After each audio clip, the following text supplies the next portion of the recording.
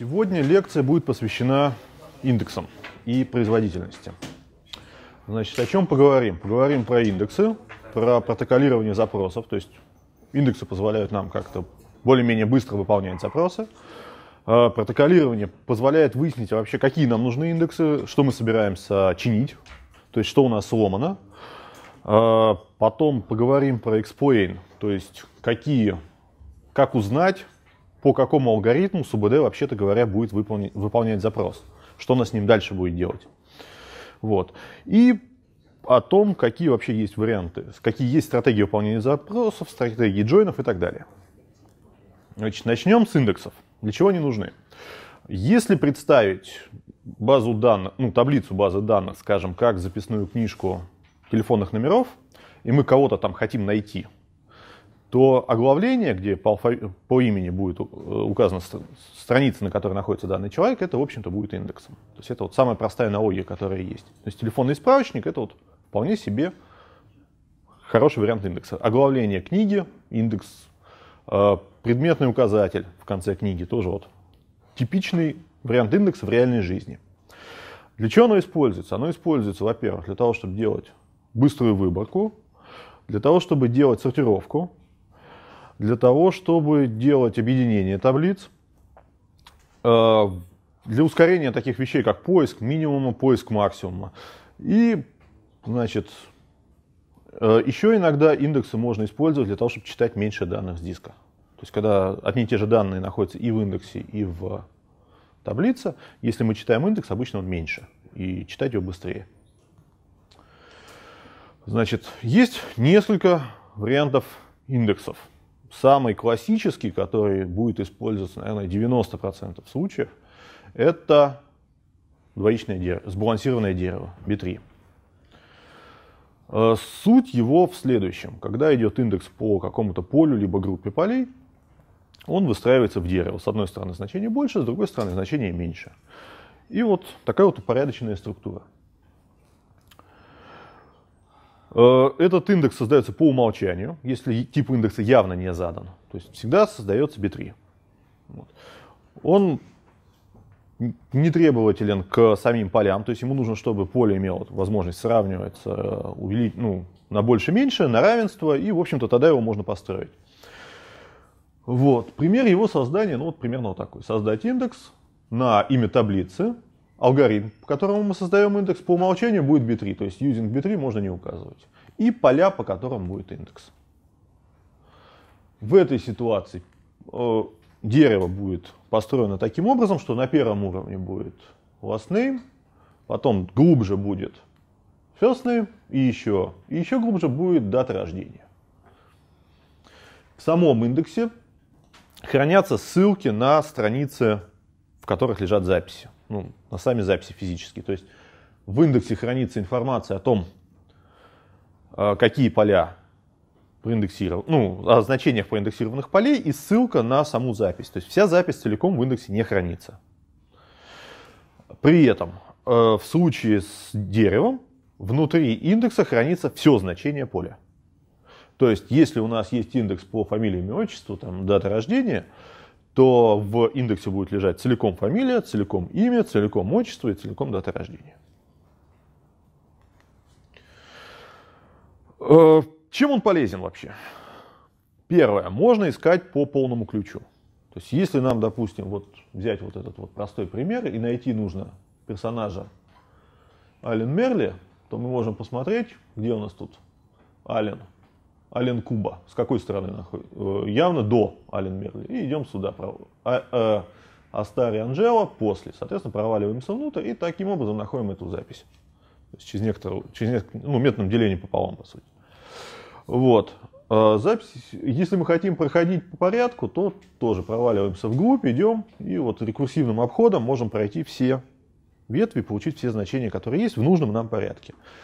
Соответственно, поиск по полному значению, поиск по префиксу, э, поиск по диапазону значений с такого-то по такое-то, поиск по совпадению префиксной части и, в общем-то, возможны запросы только по индексу. То есть, например, если у нас здесь мы захотим получить персонажа, дату рождения от персонажа Астари Анджелина, то нам достаточно этого поля индекса, нам не нужно смотреть саму запись.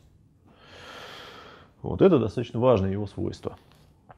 Вот. Что нельзя? Нельзя делать выборку по левой части ключа, то есть э, касательно того примера, если мы захотим получить какие-то данные по всем, персон... по всем людям, у которых дата рождения там, 1 января 2010 года, то нам этот индекс никак не поможет.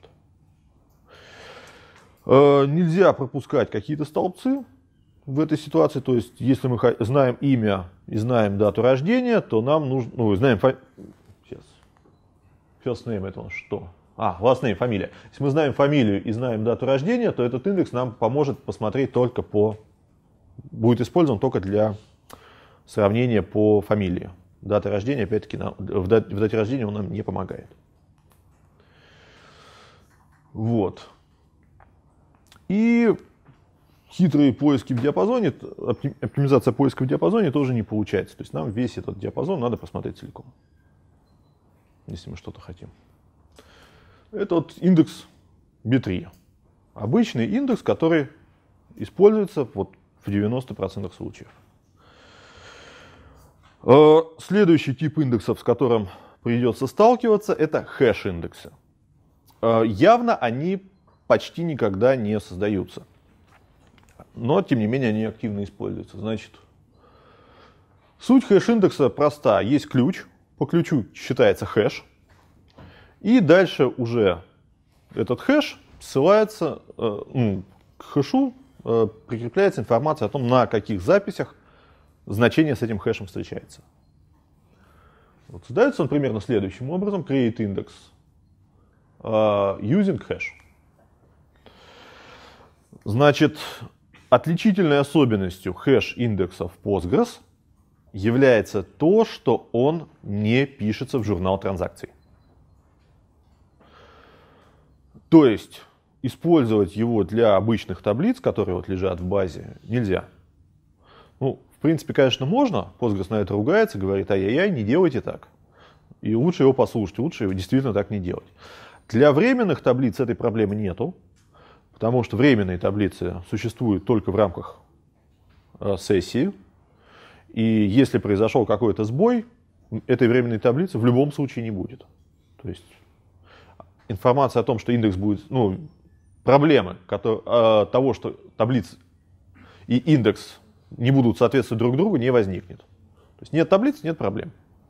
В случае, если это обычная постоянная таблица мы, э, и произошел сбой, то индекс будет не соответствовать таблице. Это очень нехорошая ситуация. Значит, выглядит он примерно следующим образом. Есть у нас табличка, имя, фамилия. Мы сделали индекс по имени. Дальше вычисляются хэши. И индекс будет выглядеть примерно так. Значение, указатель на строчку. Значение, указатель на строчку. Значение, указатель на строчку. Значение, указатель на строчку. Очевидной проблемой в данном случае является то, что хэши дают коллизию.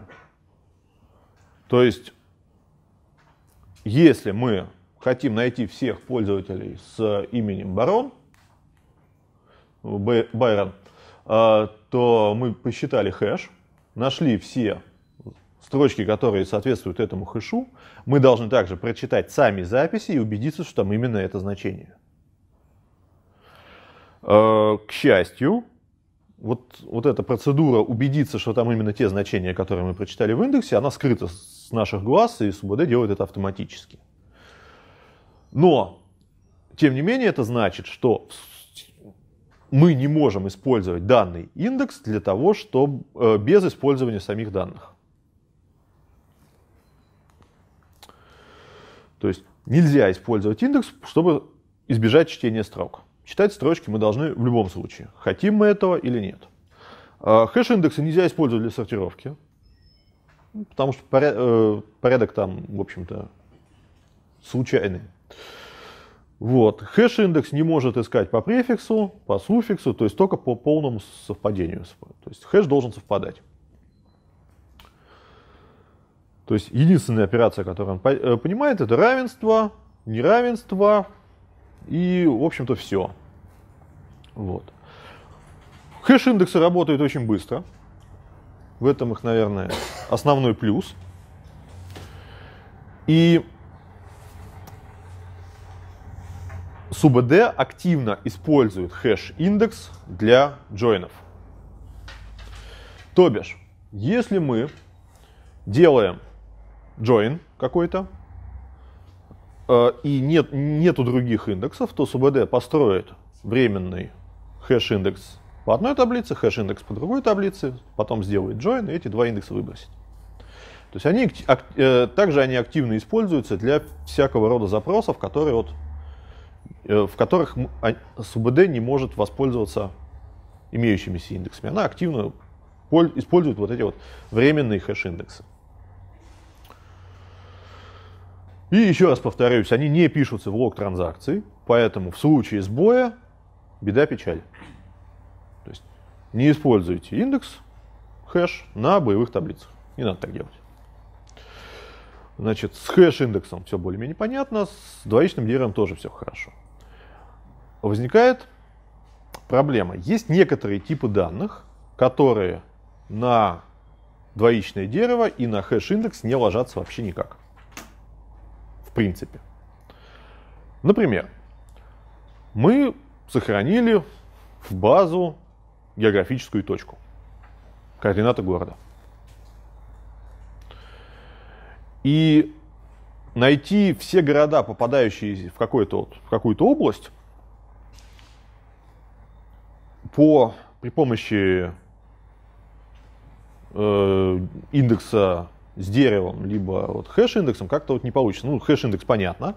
Э, с дерева можно выстроить дерево по одной координате, по другой координате, в общем-то, но если у нас будет там не точка, а какая-то более сложная конструкция типа полигона, полигона, прямоугольника, то будет беда. Просто так решить эту задачу на уровне B3 и хэш-индекса не получится. Слава богу, есть еще один вариант индексов, который позволяет обойти эту задачу, э, обойти эту проблему. Называется это GIST-индексы. Суть их заключается в том, что они позволяют индексировать значения, которые могут между собой как-то перекрываться. Э, строится отдельный подвид дерева, э, и дальше уже в рамках этого дерева вот эти частично перекрывающие области могут вполне себе достаточно резво искаться. Э, GIST-индексы, в частности, активно используются для географических типов данных. В принципе, Postgres позволяет реализовать GIST индекс для любого типа данных, у которых там объявлено порядка 7 методов. То есть можно создать свой кастомный тип, сказать, что мы реализуем вот эти вот эти вот методы, и он может, его можно будет индексировать вот таким вот способом. А, в частности, например, те же самые географические типы данных не входят в Postgres из коробки и подключаются в качестве расширения с поддержкой индексов и прочих вот ништяков. Значит, дальше. Есть еще один вариант индексов, о которых стоит упомянуть. Это инвертированный индекс. Носит гордое название джин. Как напиток, только, только джин. Только индекс. Вот. Значит, суть инвертированного индекса следующая. Прямой индекс, когда у нас... Э, ну, тут проще на примере. У нас есть какие-то поля, а? полях есть набор строчек, и инвертированный индекс по сути своей говорит, какой ключ в каких строках содержится. Э, активнее всего инвертированные индексы используются для полнотекстового поиска, для поиска по таким полям, как JSON и так далее. То есть, когда внутри поля несколько значений может быть. В частности, он вполне себе хорошо ложится на массивы. Поехали дальше. Еще один вариант индексов, который присутствует в Postgres, он скрыт с глаз долой, создать его ручками невозможно. Но опять-таки он активно используется внутри Postgres, и поэтому о его существовании знать как минимум полезно. Это битовый индекс. Суть сводится к следующему. У нас есть какое-то поле, которое И по этому полю мы хотим построить какой-то вот индекс на тему, отвечает, соответствует ли оно какому-то условию.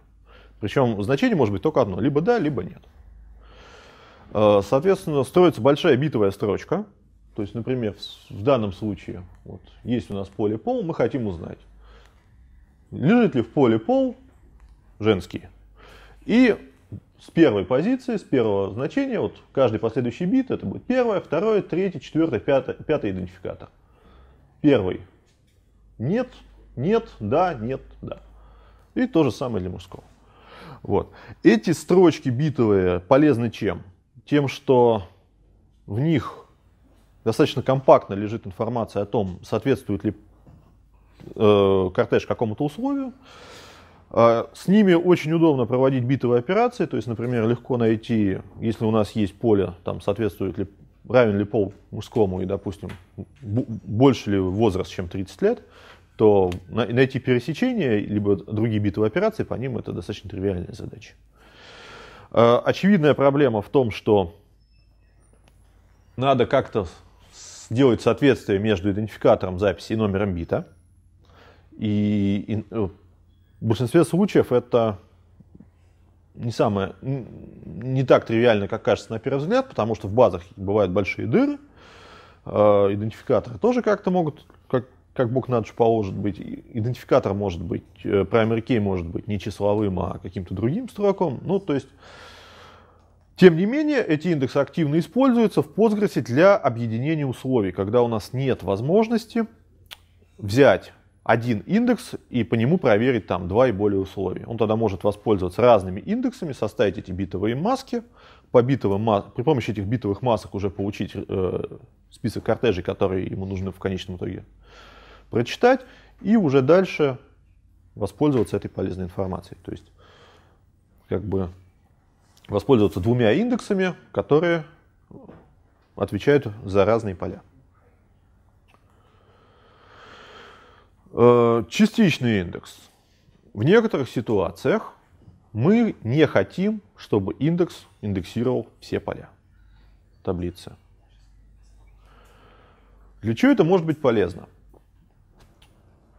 Например, у нас была ситуация, когда персонажа есть предметы, и они лежат у него, значит, числятся за персонажем. Лежать они могут в разных местах. Они могут лежать у него в письме в виде атачмента, они могут лежать у него внутри сумки, они могут лежать у него, ну, быть одеты на его куклу, э, они могут находиться на аукционе. То есть вот предмет, он может быть вот в нескольких состояниях одновременно. Ну, не одновременно, а вот как бы в зависимости от того, где он лежит, у него может быть разная ссылка на разное поле через разный foreign key. И если построить для каждого, для каждого вот этого ссылочного поля по индексу, то у нас получается, что у него есть индекс по аватару, в котором лежит данный предмет, индекс по письму, в котором лежит данный предмет, индекс по аукциону, в котором лежит данный предмет. Все эти индексы, они будут иметь примерно одинаковый объем.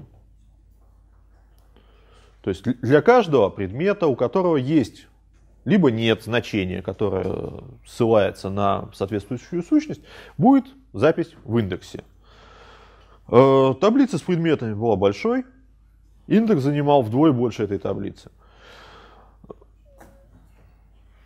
Это не очень хорошо. Частичный индекс позволяет сказать, например, что мы хотим держать в индексе только те значения, которые не null. В этом случае получается такая ситуация, что все индексы суммарно занима, заняли место столько, сколько раньше занимал один из них. То есть в данном простом примере их э, объем места на индексе сократился втрое. Это может быть достаточно полезно. Оборотная сторона медали заключается в том, что если мы сделали какое-то условие на V, то мы это условие должны таскать за собой во всех запросах. Э, к счастью, условие not null для полей, полей, по которым идет join, Postgres научился выводить, по-моему, с версии то ли 9.3, то ли 9.4. То есть его можно не указывать.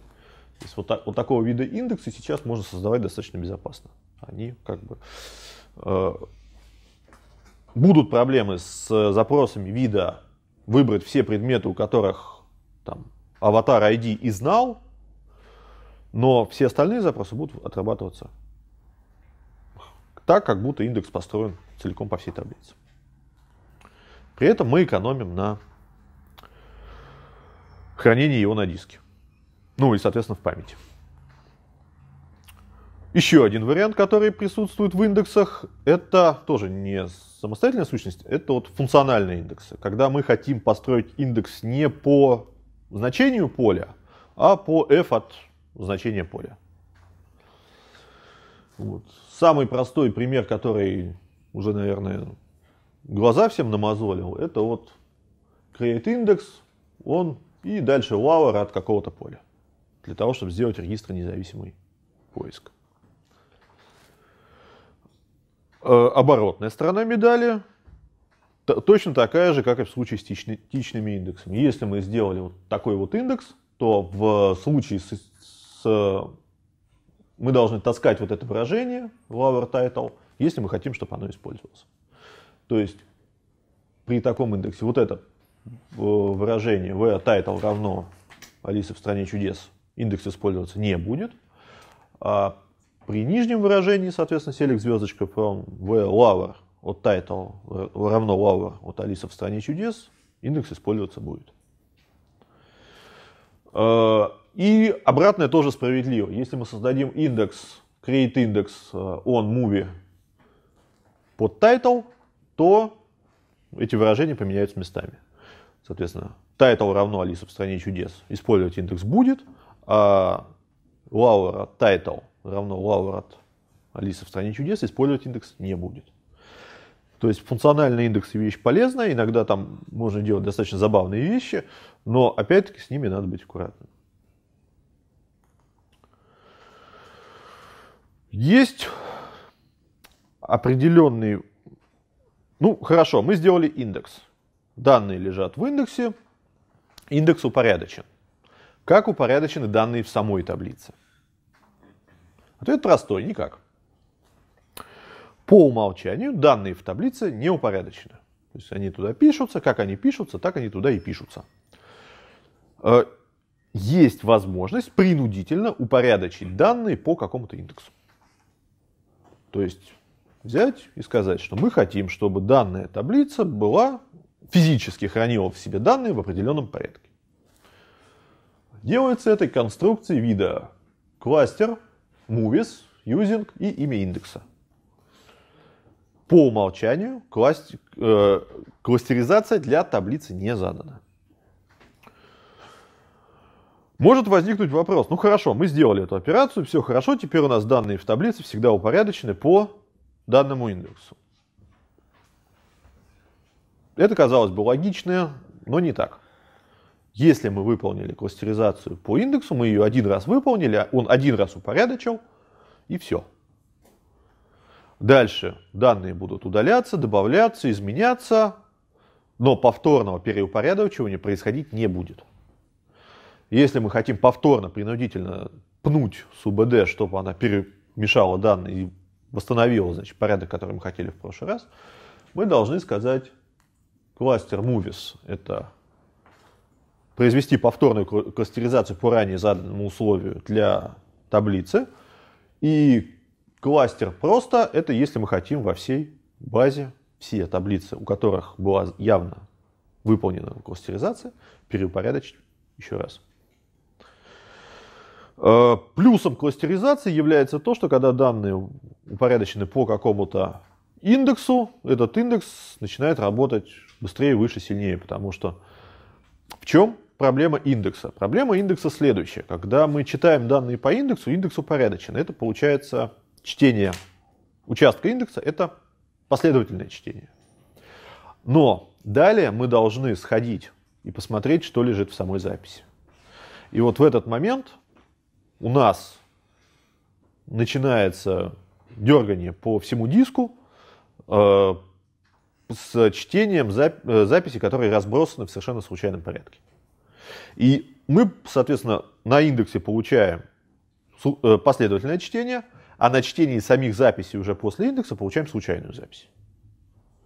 Случайная запись, пардон, случайное чтение. А случайное чтение это дорогая операция. И в некоторых ситуациях СУБД может, к примеру, не использовать индексы, потому что прочитать всю таблицу целиком будет быстро, последовательно прочитать всю таблицу целиком, может оказаться быстрее, чем читать ее с использованием индекса, вот так вот бегая по всему диску. Э, в случае с использованием SSD эта разница не так фатальна. В случае с жестким диском это очень и очень заметно. Э, есть ситуация, когда вся информация для выполнения запроса уже находится в индексе. Ну, например, у нас есть индекс по названию фильма, и мы хотим получить название всех фильмов, у которых название фильма «Алиса в стране чудес». Ну, вот такой вот пример. Очевидно, что это название уже есть в индексе. В некоторой ситуации Postgres может выдать результат данного запроса, основываясь только на данных индекса, без вот этого случайного чтения на диске. Но не всегда. Почему? Проблема в следующем. Postgres использует мультиверсионную схему для того, чтобы обеспечивать изолированность транзакций. В индексе нет информации о том, видна запись или нет. То есть индекс ссылается на какую-то запись, а вот информация о том, виден ли данный кортеж, на который ссылается индекс для текущей транзакции, у него нету. Он ее не может вывести. Единственный способ, откуда он ее может получить, это прочитать саму запись. Э, в некоторых ситуациях Postgres знает, что для данной таблицы не существует записей, которые индексируются по данному индексу и не видны для текущей транзакции. Если Postgres может прийти к такому выводу, он может не делать эту проверку для запросов по данному индексу. Ну, опять-таки, вот в первом примере, где был фамилия, имя, дата рождения, мы можем запросить по всей фамилии все вот эти три поля. То есть для всех Ивановых получить фамилию, имя, дата рождения. И если Postgres будет знать, что не существует записи, которые не видны для текущей транзакции, за счет вот, согласно уровням изоляции, то он может воспользоваться индексом и выдать вот эти вот пары без использования данных. Просто используя те данные, которые лежат в индексе. Вот такая ситуация, когда индекса достаточно для того, чтобы ин, э, ответить на запрос, получить все данные, необходимые для запроса. Вот в такой ситуации индекс называется покрывающим.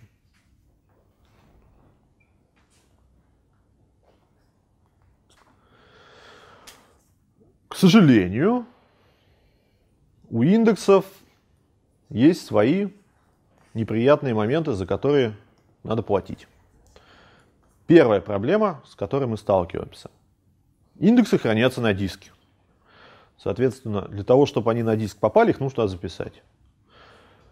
А, запись и актуализация, ну, поддержка вот этой вот информации на диске в актуальном состоянии, она требует определенных ресурсов. Нужно немножечко проца, нужно множечко жесткого диска. И, соответственно, время, которое тратится на добавление, удаление, изменение записей, оно увеличивается. А, второе, вторая проблема, менее очевидная, это то, что индексы занимают какой-то объем памяти. И соответственно, они занимают это место в кэше. То есть они тоже стремятся занять в кэш, и чем больше база данных, включая данные индексы, тем, соответственно, меньшая часть этой базы данных может уместиться в кэше. Э, чем меньшая часть базы данных может уместиться в кэше, тем, соответственно, база данных медленнее работает. То есть быстро выполняются те запросы, которые умещаются, ну, которые выполняются из кэша. Как только мы в кэш в кэше данные не нашли и полезли за ними на жесткий диск, мы получаем пенальти по производительности. Э, какой-то вот отдельной политики, что индексы волшебным образом, значит, не занимают оперативную память, нету. Э, никакой магии нет, они также хранятся в кэше и, соответственно, также конкурируют за объем кэша. Как с данными, так и между собой. Как создается индекс? Ну, команда на создание индекса. Значит, create unique индекс. Э, возможно его создавать без блокирования таблицы.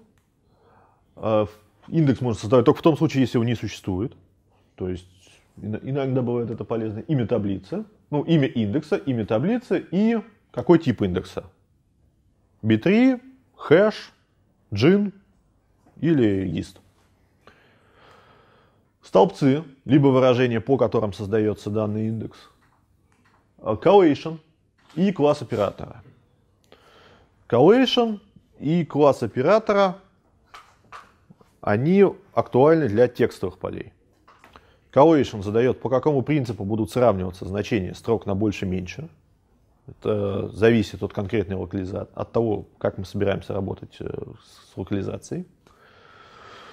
Вот. Класс операторов – это более забавная штука.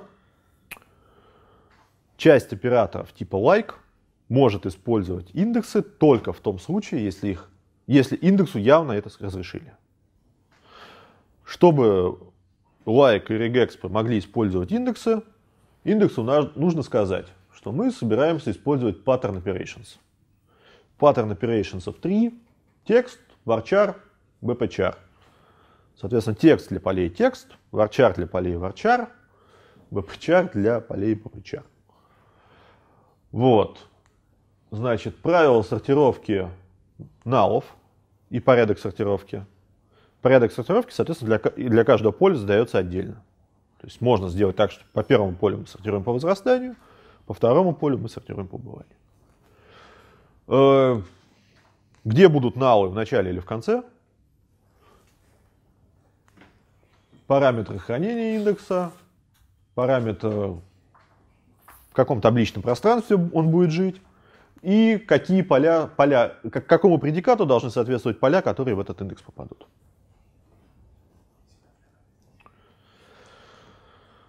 Так, подытожим. Значит, первое и основное. Скорее всего, вам подойдет B3 индекс. Для специфических случаев это географические данные, массивы, JSON поля, э, полнотекстовый поиск. Вам могут понадобиться узкоспециализированные индексы. GIN либо GIST. Э, битовые и хэш индексы, они существуют, Э, и активно используются самим Postgres в процессе выполнения запросов. Руками их обычно создавать не нужно. Хэш, битовые индексы создать вообще нельзя. Хэш-индексы можно создать для временных таблиц. Значит, частичные индексы полезны, если у нас э, индексы занимают много места, и мы можем какие-то записи из них выкинуть, но за ними надо все время таскать это условие, по которому мы оторвали записи. Э, важная деталь касательно foreign key. В Postgres foreign key индексы не создает. То есть, если у вас есть две таблицы, связанные по foreign key, вы создали ну, две таблицы, вы создали foreign key, то э, по умолчанию индекса не будет. Джойны, использующие этот foreign key, будут выполняться медленно удаление из родительской таблицы будет выполняться медленно. Изменение ключа, по которому идет связь в родительской таблице, будет выполняться медленно. Почему? Потому что для того, чтобы получить данные от, о том, есть ли записи в дочерней таблице, нужно будет просмотреть всю дочернюю таблицу целиком. Это занимает время. Индексы надо создавать явным образом. Да. индексы надо создавать на поле в той таблице, которая ссылается, или на которую ссылается? Э, сейчас. В той таб...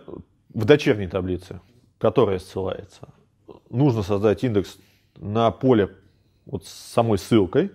А в родительской таблице в любом случае индекс уже должен быть. Иначе foreign key не получится. Обычно это primary key. Primary key создает индекс. Можно? Да. А вот это вот все про индекс, да, которые сказали? Или сейчас еще будет? Сейчас еще будет. А, я про, ну, как join, да? Сейчас будет еще и про join, и про explain, и про логирование. Не, я просто хотел спросить, а вот если нельзя делать э, хэш для, а, ну, для, как бы, для таблиц обычных, Мгм. как попросить э, базу данных не выкидывать э, вот то, что она сгенерировала для джойнов, Зачем? А, а ну, например, если мы знаем, что, например, такой join, он вот самый а, популярный запрос, и что нельзя как бы а, постоянно генерировать новый, вот надо один раз генерировать.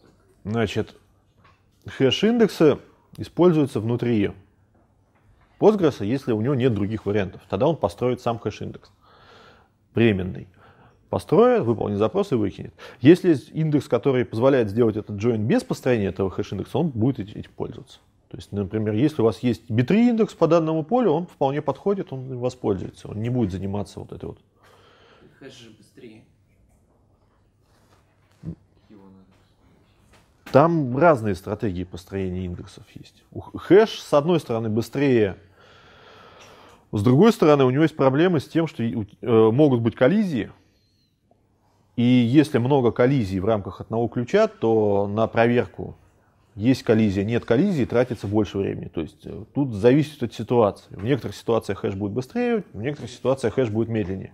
Вот, например, нет, а мы просто осознаем, что для данного джойна хэш э, будет гораздо быстрее, чем, например, B3. Как нам поступать? Не надо создавать хэш-индекс. Вот не надо. Ситуа... жизнь такова, что в Postgres хэш-индекс не транзакционен. В ИАХ. Он не пишется в лог транзакций. Все. Это как бы перечеркивает возможность его использования для вот именно вот, ну, э, то есть оп- опасность того, что в какой-то момент времени, в случае внезапной перезагрузки сервера по какой-либо причине, у вас индексы данные будут, будут э, между собой разойдутся, а- она гораздо более серьезная, чем э, выигрыш от хэш-индекса перед бит-индексом в некоторых ситуациях. Так, еще, значит, момент. Можно получить очень большой выигрыш при использовании покрывающих индексов. За счет чего? За счет того, что нам не нужно просматривать записи, на которые ссылается индекс. Просмотр записи – это очень дорогое удовольствие. И еще один момент важный, то что каждый индекс требует затрат как на свое поддержание с точки зрения записи на диск, так и на память, э, то есть он требует места в, в э, в кэше. Так, по индексам. Есть вопросы? Лучше их задать сейчас. А вот можно все-таки спросить, вот когда вот у нас несколько полей, ну то есть э, по индексам, он как делает? Он сначала первый смотрит, потом э, второй, потом третий или как? Зависит от индекса. Ну вот если мы создали индекс там по имени, по дате рождения, по фамилии, да? Если индекс B3, то да, он будет смотреть, ну, то есть вот, иерархически, по сути.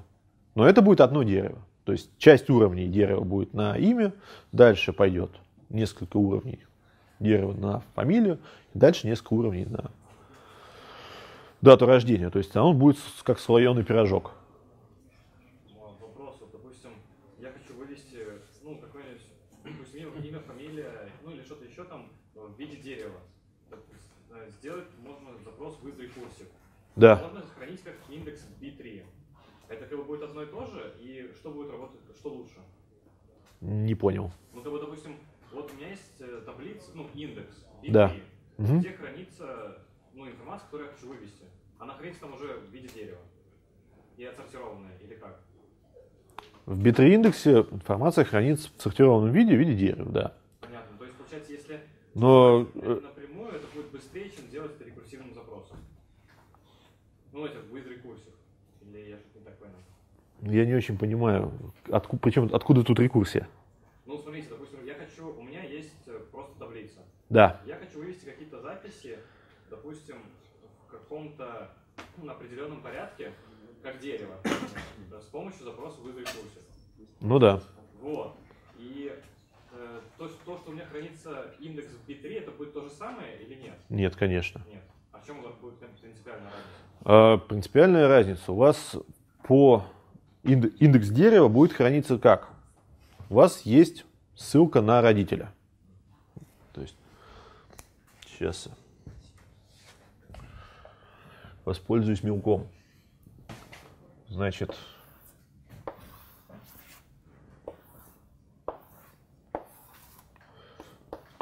ID, родителя ID и, допустим, name.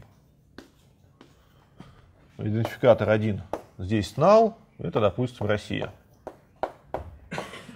Идентификатор 2 здесь 1, это будет Москва.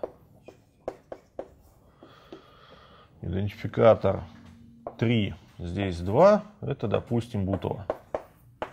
Многострадальная. Идентификатор 4 2 Чертанова. Ну, идентификатор 5, здесь скажем, никого нет. Это пущай будет США. Ну и шестой идентификатор. Здесь 5. Это у нас будет Чикаго. Ну, грубо говоря, да? Так вот, значит, если вы хотите это вывести в виде дерева, то, скорее всего, вы за- захотите вывести записи сначала один, потом запись, ну, то есть сначала Россия, надо было как-то перемешать. Ну, примерно в таком порядке, короче, вы их хотите вывести. Э, Индекс будет храниться в следующем виде. Он будет... Так, нет, надо, надо порядок нарушить. Давайте нарушим порядок. Вот возьмем и Воронеж пишем. Вот. Воронеж. Вот, у нас теперь есть Воронеж. Значит, э, в случае, если мы хотим вывести, мы захотим вывести Россия, ну вот, в качестве дерева это будет Россия. Потом дальше у нас будет Москва.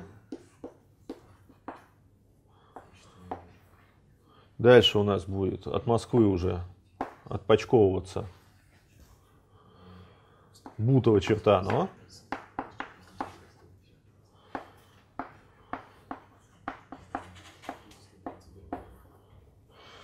А, Дальше от России будет отпочковываться Воронеж. То есть вот и отдельно еще, соответственно, даже вот так, наверное, во, вот так вот. И отдельно еще у нас будет США. И от США Чикаго. Вот. А в индексе будет храниться несколько другая информация. В индексе будет храниться PID. То есть у нас будет один. Это у нас значение 1, значение 2, значение 5, значение null. И вот они будут. Здесь, собственно, граница будет, там, условно говоря, от 1, 2. Здесь 5 null. Вот. вот первый уровень такой. Мы смотрим, значит. Допустим, нам нужно найти... А, и, и записи. Здесь идентификаторы, которые вообще у нас будут. Ссылка, единичка, это у нас кто? Москва, вторая запись. Дальше от единички Воронеж. Седьмая запись. Двойка это у нас третья запись и четвертая запись. То есть это вот, собственно, ссылки уже будут на пятое, з- Пятое это у нас кто? Чикаго. Чикаго это у нас будет шестое. И вот пустое значение будет это единичка и пятерка. Вот. И он что, что, что он даст? Когда мы скажем, мы хотим найти ребенка, всех детей у второй записи, то есть у которых π равно 2. Он пойдет по индексу, посмотрит. 2 у нас куда попадает? В какой диапазон? В этот. Идем сюда. Вот здесь у нас, собственно, этот, как его? В этот диапазон. Здесь у нас два кандидата есть. Этот и этот. Этот ближе. Идем сюда. Третий, четвертый. То есть здесь дерево несколько другого вида. Именно для значения. О том, что запись Чикаго, например, лежит, э, следует за США при сортировке, по вот этому индексу получить так просто не получится.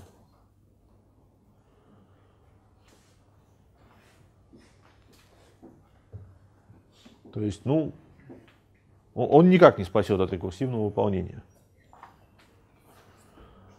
То есть это не связанные вещи. Здесь дерево идет именно что вот в индексе участвует всегда одна запись, как, как единица. То есть э, от рекурсивного запроса может, можно избавиться, если здесь хранить целиком путь. То есть для, скажем, Чертанова хранить не ссылку на родителя 2, а хранить полный путь. 1 точка, 2 точка. Вот, что вот путь 1, 2. И вот если проиндексировать уже вот это поле, которое будет содержать себе полный путь, например, здесь будет 1, здесь Москва это будет 1.2, здесь Бутово будет 1.2.3, Чертанова будет 1.2.4, США будет 5, а Чикаго 5.6. И, скажем, Воронеж это у нас будет 1.7. Вот если вот эти храни, э, значения хранить и по ним, по ним выстроить индекс, то да, это спасет от рекурсивного запроса.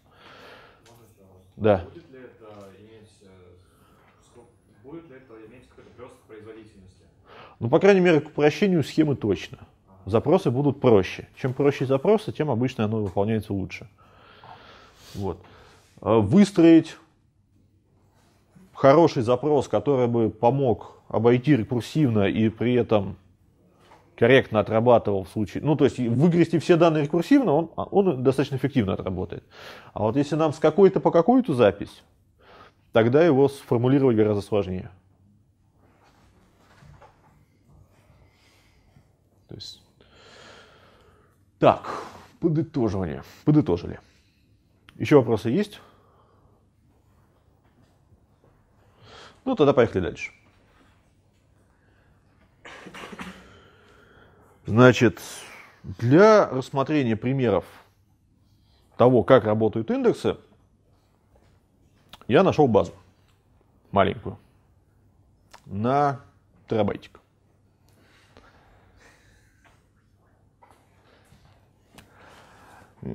Не, вру, на гигабайт.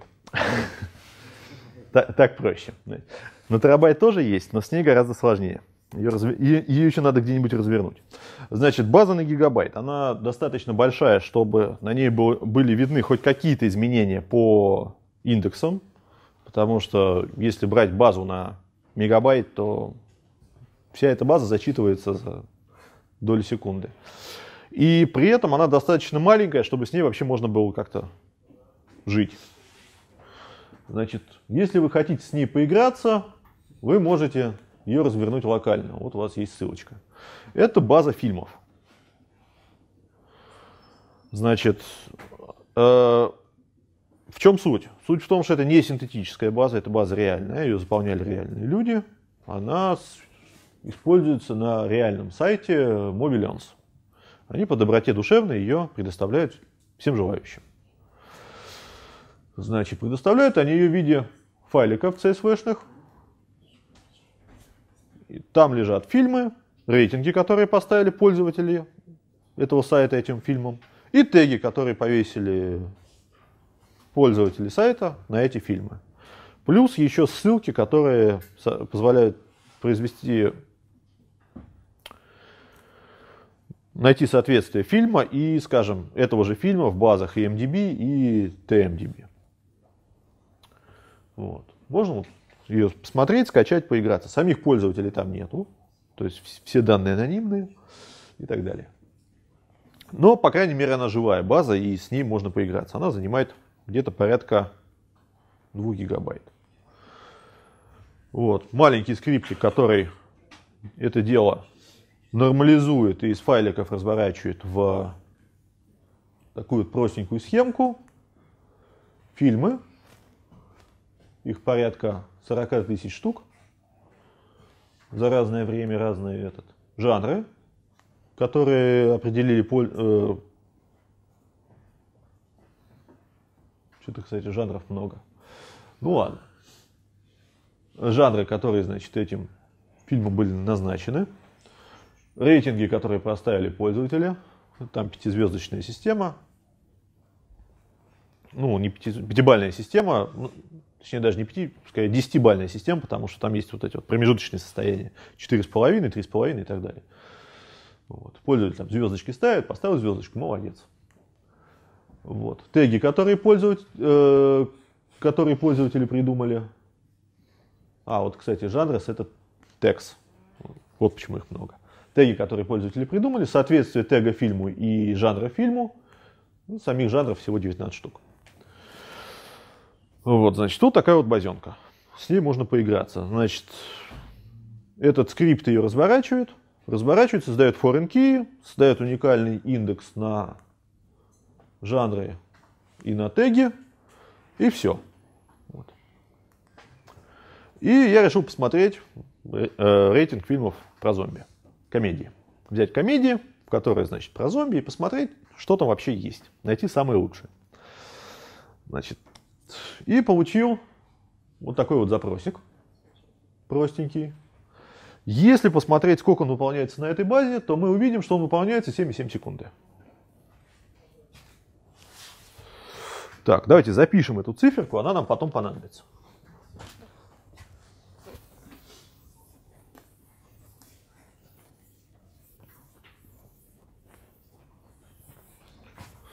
Э, скрипт разворачивает базу где-то минут за 5, поэтому если будет желание поиграться с индексами, рекомендую. Так, 7 и 7 секунды. Честно говоря, я ожидал, что цифра будет более внушительной, потому что когда в прошлом семестре этот же эксперимент проводился с э, MySQL, было минуты 3. Ну да ладно что есть, то есть. Значит, в результате вот такого запросика было получено 60 строк. Э, по запросу есть какие-то вопросы? А, вопрос. Да. Зачем вот, э, ну, грубо говоря, делать лайк у зомби? Это... Ну, я так захотел.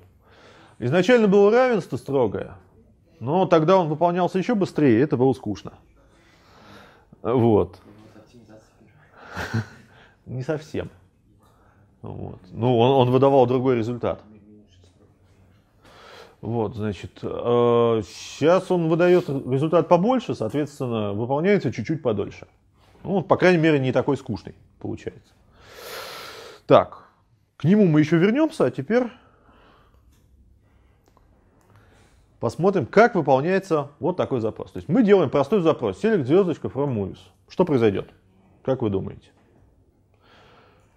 Данный запрос пройдется по всей таблице и вернет все строчки таблицы в качестве результата. Все просто понятно. Что произойдет, если мы сделаем вот такой запрос?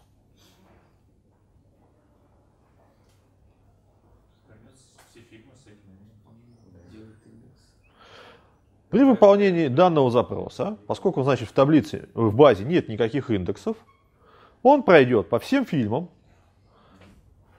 сравнит у них имя, ну, заголовок фильма, название с «Алиса в стране чудес» и вернет все фильмы, которые, значит, называются «Алиса в стране чудес», и таких будет 8 штук. Ну, соответственно, возьмет 40 тысяч строк, по всем ним пройдется и найдет эти несчастные 8 Алис. Если, соответственно, фильмов будет не, 8, не 40 тысяч, а миллион, тогда время запроса увеличится, соответственно, линейно. Чем больше фильмов, тем медленнее работает. Что произойдет вот в такой ситуации? Если мы создадим индекс заранее, явно, то при запросе по условию будет взят, ну, в данном случае индекс B3, это дерево. В дереве будет, э, будет найден узел, в котором находятся все записи, соответствующие Алисе в стране чудес, и он вернет только эти 8 записей. То есть он найдет в индексе этот участок, найдет в индексе 8 идентификаторов и вернет эти 8 записей. Для того, чтобы получить 8 фильмов, он просмотрит 8 записей, плюс еще какое-то количество страниц индекса. А сложность индекса у нас в данном случае логарифмическая.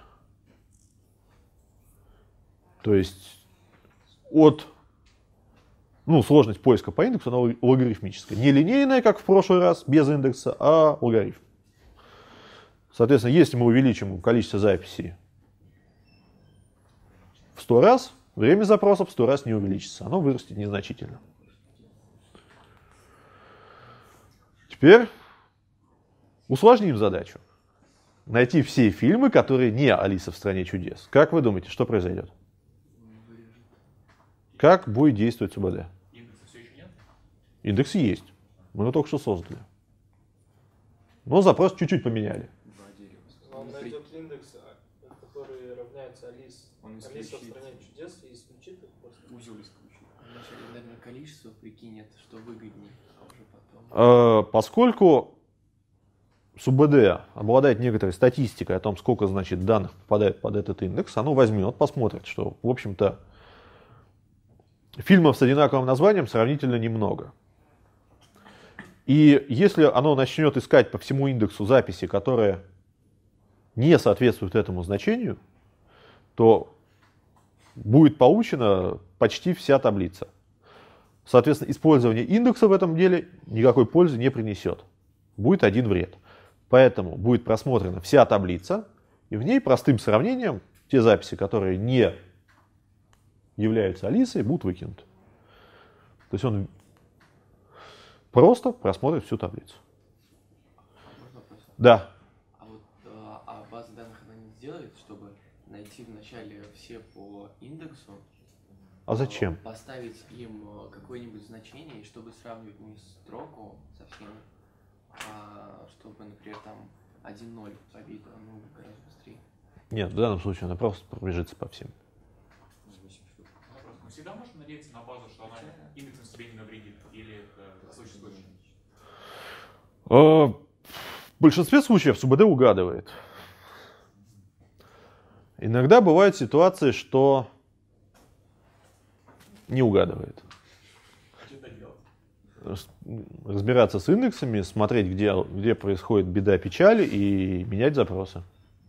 Можно какой-то концертный запрос отключить индекс? Ну, то есть прямо ей сказать, проходи по всей таблице. Можно отключить проход по всей таблице.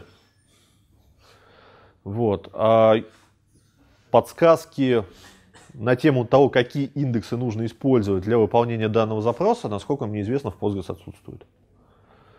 То есть, по крайней мере, так было несколько лет назад, и это была их принципиальная позиция. Во многих СУБД они есть, когда мы хотим, чтобы... э, сейчас, сколько сейчас времени, кстати? Когда мы хотим, чтобы использовался какой-то конкретный индекс, либо индексы не использовались, э, можно сказать СУБД, что вот используй такой индекс и не выпендривайся. Э, В Postgres эти подсказки, они отсутствуют. Называются хинты. В MySQL есть, в Postgres нет.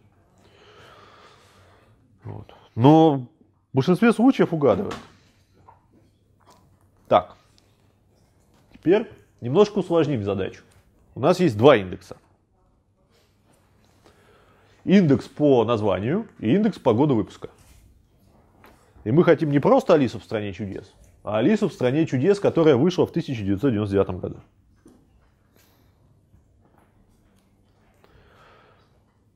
Как будет работать СУБД в этом случае? Ваш вариант. Она найдет всех Алис, а затем она найдет всех, кто будет На основе тех индексов уже найдет всех. Она Ну. Алисе начнет искать погоду внутреннюю.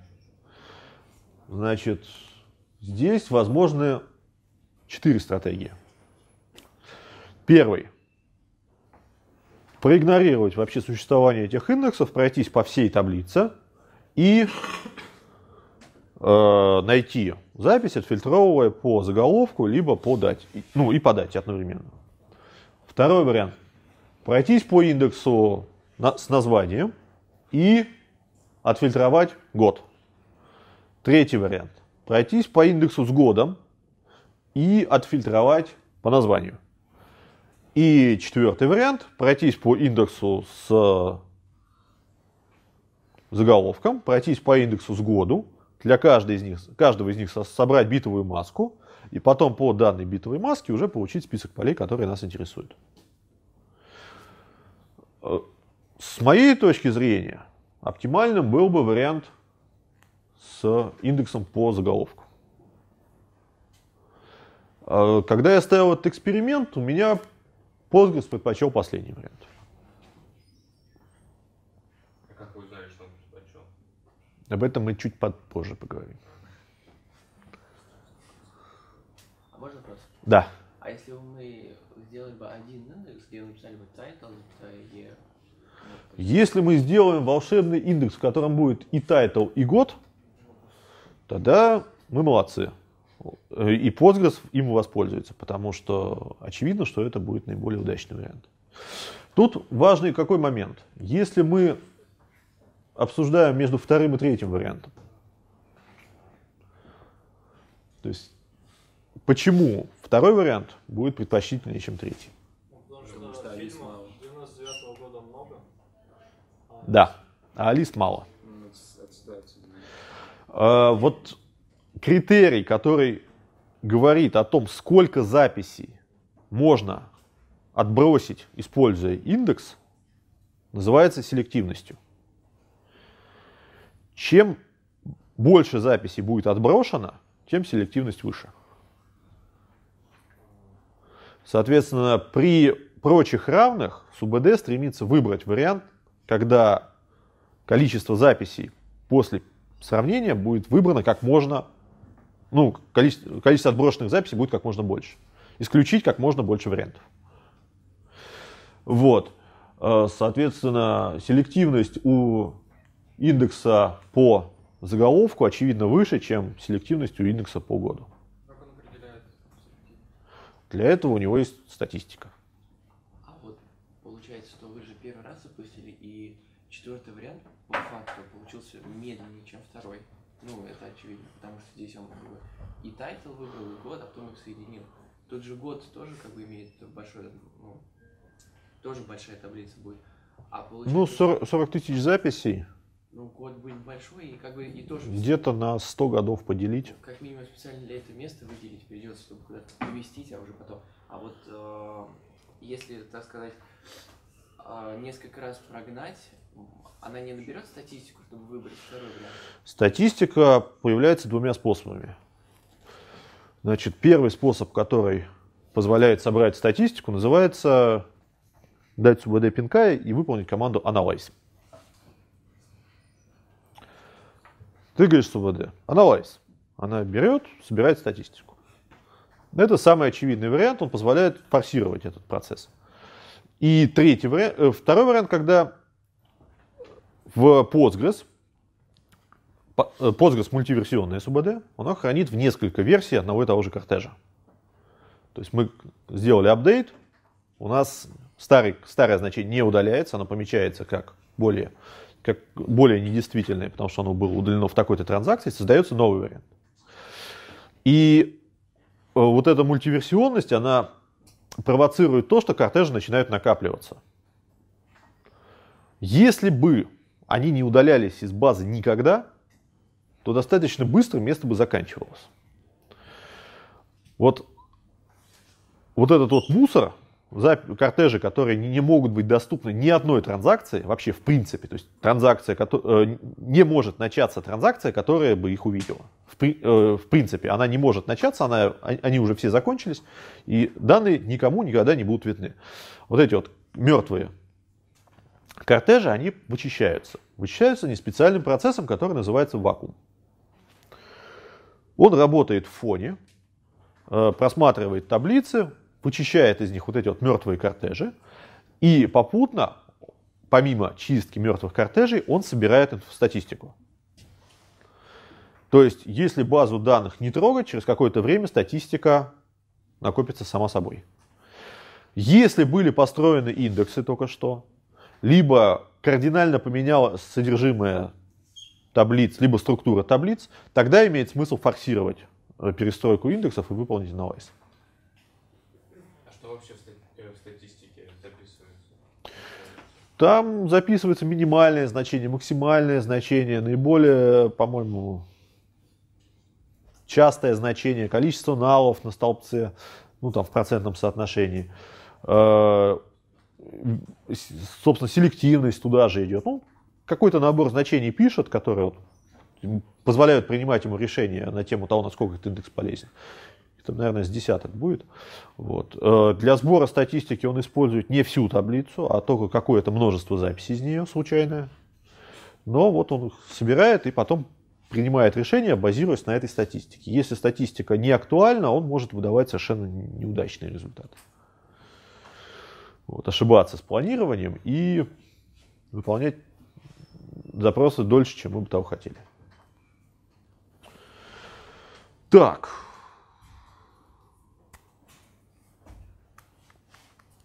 Еще один вопрос. У нас есть индекс по заголовку и погоду. И мы выполняем два запроса. Алиса и не Алиса. Но оба, обе выборки хотим получить отсортированную погоду. Как они будут выполняться?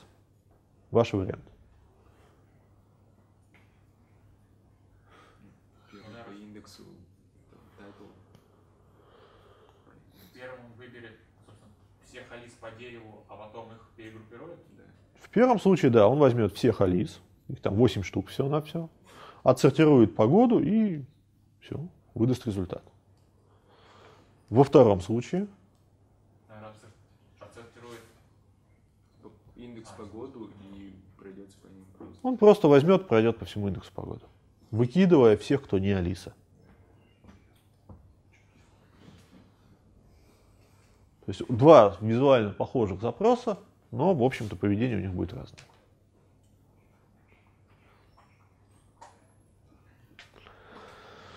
Так. Ну, примерно то же самое. У нас есть один индекс по тайтлу погоду и второй индекс погоду по тайтлу. Какие будут воспользоваться? Какие будут варианты выполнения? Соответственно, первый оператор.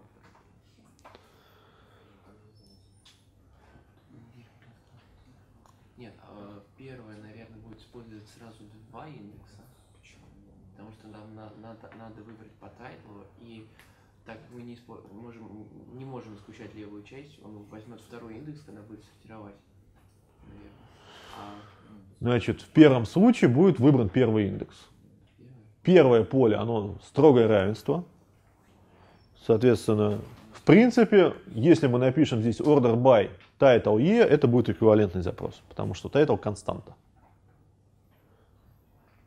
Сортировать по константе очень удобно.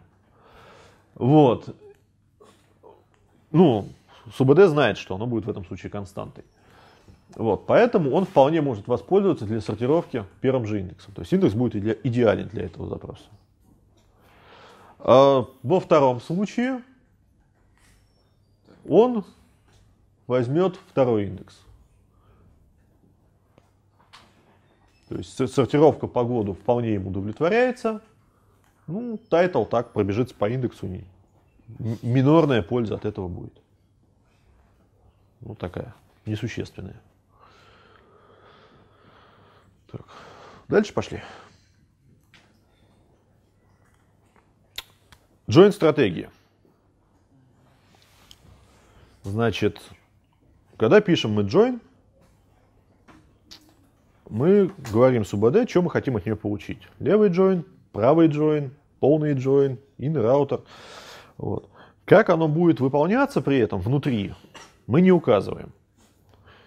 Выполняться оно может по-разному.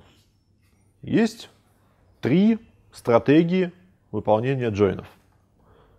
Первая стратегия – это merge join. Соединение двух упорядоченных последовательностей. У нас есть одна упорядоченная последовательность и вторая упорядоченная последовательность, упорядоченная по одному ключу. В этой ситуации соединение идет достаточно тривиально. Читаем один список, читаем второй список и соединяем. Hash join. Hash join используется, когда у нас нету какого-то индекса. Берется меньшая таблица, меньшее множество. По нему, по полю, по которому при, происходит соединение, строится ключ. Хэш-индекс временный. Потом берется большая таблица и строится хэш-ключ, и дальше смотрятся записи, которые по хэшу совпадают с, ну, с нужным. Это позволяет оптимизировать и делать join за разумное время, даже если никаких индексов нету. И Третий вариант – это nested loop. Идется цикл по одной таблице, и в рамках этого цикла для каждой записи данной таблицы идет поиск записей в связанной таблице. Три стратегии. Merge join, hash join, nested loop. Hash join обычно используется от безысходности, когда нет возможности воспользоваться индексами, но как-то надо сделать join. А, merge join используется обычно, когда нужно получить вот упорядоченную последовательность. А, nested loop используется, наверное, чаще всего. Если сравнивать Postgres с MySQL, то в MySQL, например, реализован только nested loop. Именно благодаря этому в MySQL у меня было больше, чем 7,7 секунды. На порядка трех минут. Так. Теперь у нас здесь появился join. Есть индекс, э, жанр фильма по полю с идентификатором фильма. И два запроса. В одном случае мы говорим, что мы хотим их сджойнить, и у нас будет пер... мы хотим видеть первую тысячу записей. Во втором случае мы хотим сджойнить и получить все записи, результат будет более чем 70 тысяч кортежей. А как вы думаете, как будут выполняться эти запросы? Первый, наверное, мержем. М? Первый, наверное, мержем. Почему? Ну, ну, последовательность короткая, ему проще будет пройтись просто тыс- тысячу записей Да. В первом случае у нас есть оба индекса, то есть он может упорядочить последовательности в обоих случаях. И он идет по этим двум индексам и делает merge join. Как только получает тысячу записей, возвращает результат и успокаивается. Дальше он не идет. А во втором случае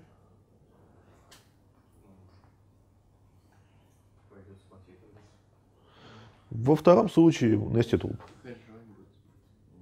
Нет, у нас есть индекс, он не- нам не нужен join. У нас есть индекс, А, он да. воспользуется nested loop. А?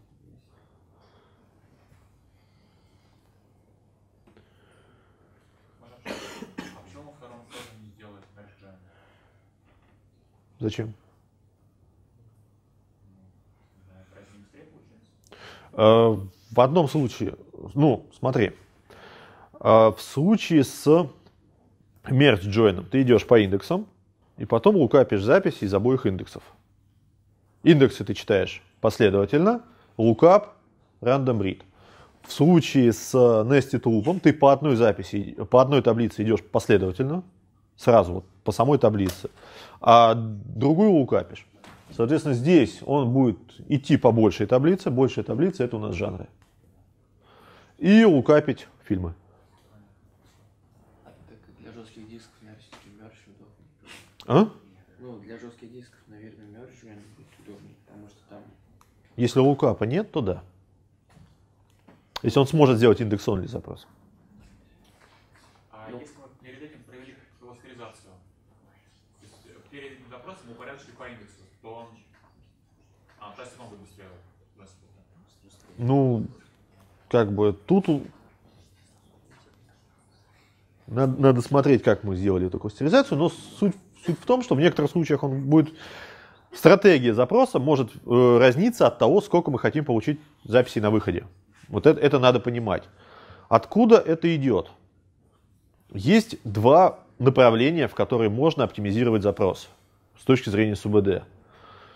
Первое – это выдать весь результат как можно быстрее. У нас есть запрос, э, предполагается, что со стороны клиента запрос весь будет обработан целиком и полностью в один присест, и мы хотим выдать его как можно быстрее, весь запрос целиком. А Во втором случае мы хотим выдать как можно быстрее первые записи. Вот здесь, вот здесь явно тяготеет к варианту, когда мы хотим, ну, первый запрос тяготеет к тому, что мы хотим выдать как можно раньше первые записи. Второй вариант тяготеет к тому, что мы хотим выдать весь запрос целиком. И у вот этих двух разных способов направления оптимизации могут быть разные варианты выполнения запроса. Данные одни и те же формально, а стратегия выполнения отличается. Просто потому, что в одном случае мы хотим получить какое-то подмножество в начале, какое-то ограниченное количество записей, нам важны первые записи. А во втором случае мы хотим получить все записи, и нам, в общем-то, надо, чтобы весь запрос выполнился целиком быстрее, а не вот по одной. Ну, поехали. Значит, каждый человек, который работает с базами данных, рано или поздно сталкивается с проблемой. Тормозит. И с этим надо что-то делать. Значит, оптимизация запросов начинается с одной простой вещи. Надо понять, а что, собственно говоря, тормозит. То есть, первое, э, что нужно понимать, это с какими данными мы больше всего работаем, какие таблицы более всего используются, какие запросы чаще всего делаются, и вообще какие запросы отъедают наибольшее количество времени. Э, Второе, это какой характер нагрузки на, базу. Разный характер нагрузки может иметь разные варианты оптимизации. Например, если база данных должна переваривать большое количество данных на вход, но при этом крайне редко из нее делается выборка, то индексов должно быть как можно меньше. Если база данных редко меняется, но при этом из нее постоянно выбираются различные выборки, тогда наоборот. индек- э, стоимость, индек- э, стоимость ресурсов на поддержание индекса не так страшна. Вот. А, И надо еще понимать, какие виды обращения происходят чаще всего. То есть мы читаем, пишем, удаляем, добавляем, изменяем. Что, что вообще мы делаем? То есть таблицы надо понимать, надо понимать общий характер нагрузки. И исходя из этого уже думать, куда копать. Значит, первая отправная точка, с которой можно э, это посмотреть вообще на состояние самого сервера, что у него там по процессам чтения, записи, там дисковой подсистемы и так далее. Но это общие такие ре- рекомендации. К ним мы вернемся чуть позже. А теперь, если смотреть по запросам, возникает простой вопрос. Хорошо, у нас есть плотный поток запросов. А что с этим делать? И есть несколько вариантов поиска запросов, которые создают основную нагрузку на сервер. Вариант первый. Собрать статистику запросов. Э, Из коробки в самом вот базовом Postgres такого модуля нет. Есть модуль, который идет по соседству с Postgres, он почти всегда установлен рядом, но его нужно отдельно подключать. Подключается он через опцию конфигурационном файле Shared Preload Libraries. А, У него два основных параметра. Их там гораздо больше, но в целом наиболее интересны два. Первое, это сколько запросов он будет держать в памяти для сбора статистики. И второе, какие из этих запросов он должен отслеживать. По умолчанию он отслеживает те, которые у него в топе выбьются, а можно указать, чтобы все. Вот. И на стороне самой базы мы должны зарегистрировать вот это расширение PG Stat Statements. Если хотим, можем сбросить все настройки, ну, всю статистику, которая была накоплена за предыдущие периоды, и потом просто выбрать статистику по запросу. Сказать, скажи мне, Postgres, кто тебя беспокоит? Э, в статистике данных хранится достаточно полезная информация. Первое, на что, на что можно обратить внимание, там хранятся сами запросы. То есть можно посмотреть запросы, запросы группируются. То есть если выполняется 10 запросов вида select звездочка v, там, select звездочка from movie v title равно Toy Story, select звездочка from movie v title равно Алиса in Wonderland, select звездочка from movie v title равно Man in Black, то эти запросы будут сгруппированы параметры будут заменены на вопросики. То есть константные параметры заменятся на вопросики. Они будут выглядеть одинаково. Потому что в общем целом в большинстве случаев это действительно один и тот же запрос, только с разными входными данными. Вот. Э, время. Количество строк. Количество блоков, которые прочитаны, и количество блоков, которые были взяты из кэша, они будут увеличиваться поинкрементно. То есть если мы выполнили тысячу раз запрос, который возвращает нам по одной записи, то rows будет равно 1000. Если мы тысячу раз выполнили запрос, который возвращает по 10 записей, то rows будет равно 1000 на 10, соответственно 10 тысяч. Вот. Общее количество выполнений мы тоже можем увидеть в этом статистике. Оно в поле calls попадает. Вот. И имея вот этот вот лог, можно понять, какие запросы выполняются дольше всего. То есть там достаточно много полезной информации, можно посмотреть по времени, какие запросы больше всего выполняются, а, как суммарное время, так, собственно, время одного запроса. А, можно посмотреть, какие запросы больше читают, больше пишут. Там есть количество э, информации о том, сколько было данных прочитано с диска, сколько данных было записано на диск, данные по кэшу, по кэшу сколько мы попали в кэш, сколько мы прошли мимо кэша и так далее. Вот. Достаточно полезный инструмент. Есть еще один вариант поиска запросов, которые делают серверу больно. Значит, можно сбрасывать запросы в лог. Эта опция, в отличие от предыдущей, идет уже не модулем, а из коробки. Она есть всегда, ей можно воспользоваться. В конфигурации включается log duration on, log min duration statements. Значит, log duration это логировать длительность запросов, чтобы она там в принципе была. Log min duration statements это минимальное время, которое должен выполняться запрос. Э, это время, нижняя граница, по, по которой будет приниматься решение, вообще нужно ли его логировать. То есть, если запрос логир... Э, выполнялся меньше, чем указано, он не попадает в лог. Если больше, чем указано, он попадает в лог. Время измеряется в миллисекундах. Целая миллисекунда. Если указано значение 0, попадают все запросы. Если указано значение минус 1, не один, то логирование выключено.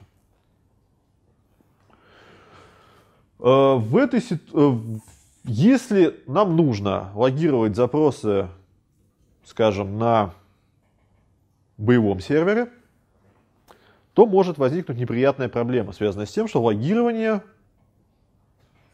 может выесть все ресурсы на вот-вывод. Просто запись. Он будет только и делать, что заниматься логами.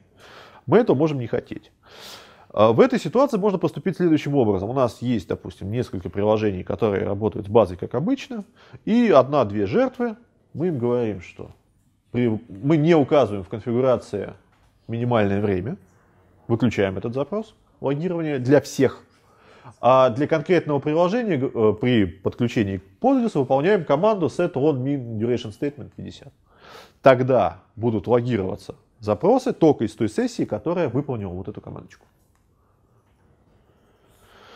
Э, тогда у нас э, можно сделать так, что у нас, допустим, есть куча сервисов, работающих с БД, и логируется только один какой-то.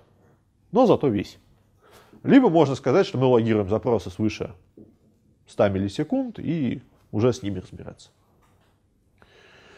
В логе сообщение выглядит примерно следующим образом. Когда оно произошло, э, идентификатор транзакции, ну, идентификатор сессии, точнее, э, потом на какой базе от какого пользователя,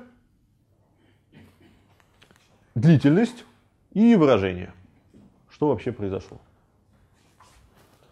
Запрос в этой ситуации пишется целиком, э, без вот этих вот вопросиков, ну, целиком развернутый. И потом можно посмотреть, что вообще происходило. Логи читать занятие, в общем-то, утомительное и не очень приятное. Поэтому нам нужен барсук. Для чего нам барсук? Мы говорим, что мы логируем все выражения, логируем их в формате CSV. Значит, ну, примерно вот такой вот конфижечек.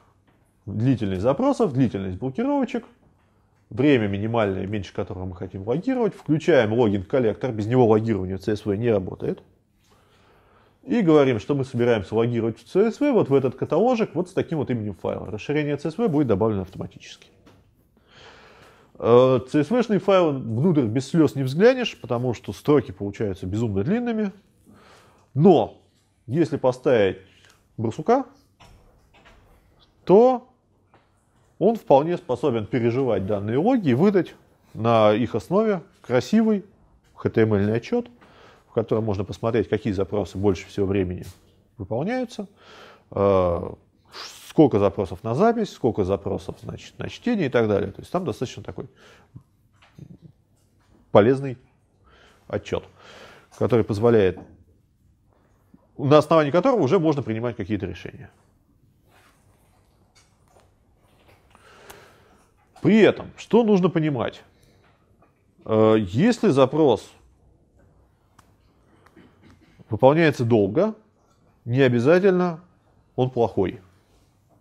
Может быть, у него просто судьба такая. Значит, что может, с чем это может быть связано? Это может быть связано с э, внешними факторами. Например, у нас есть СУБД, и данный запрос выполняется именно в то время, когда началось резервное копирование.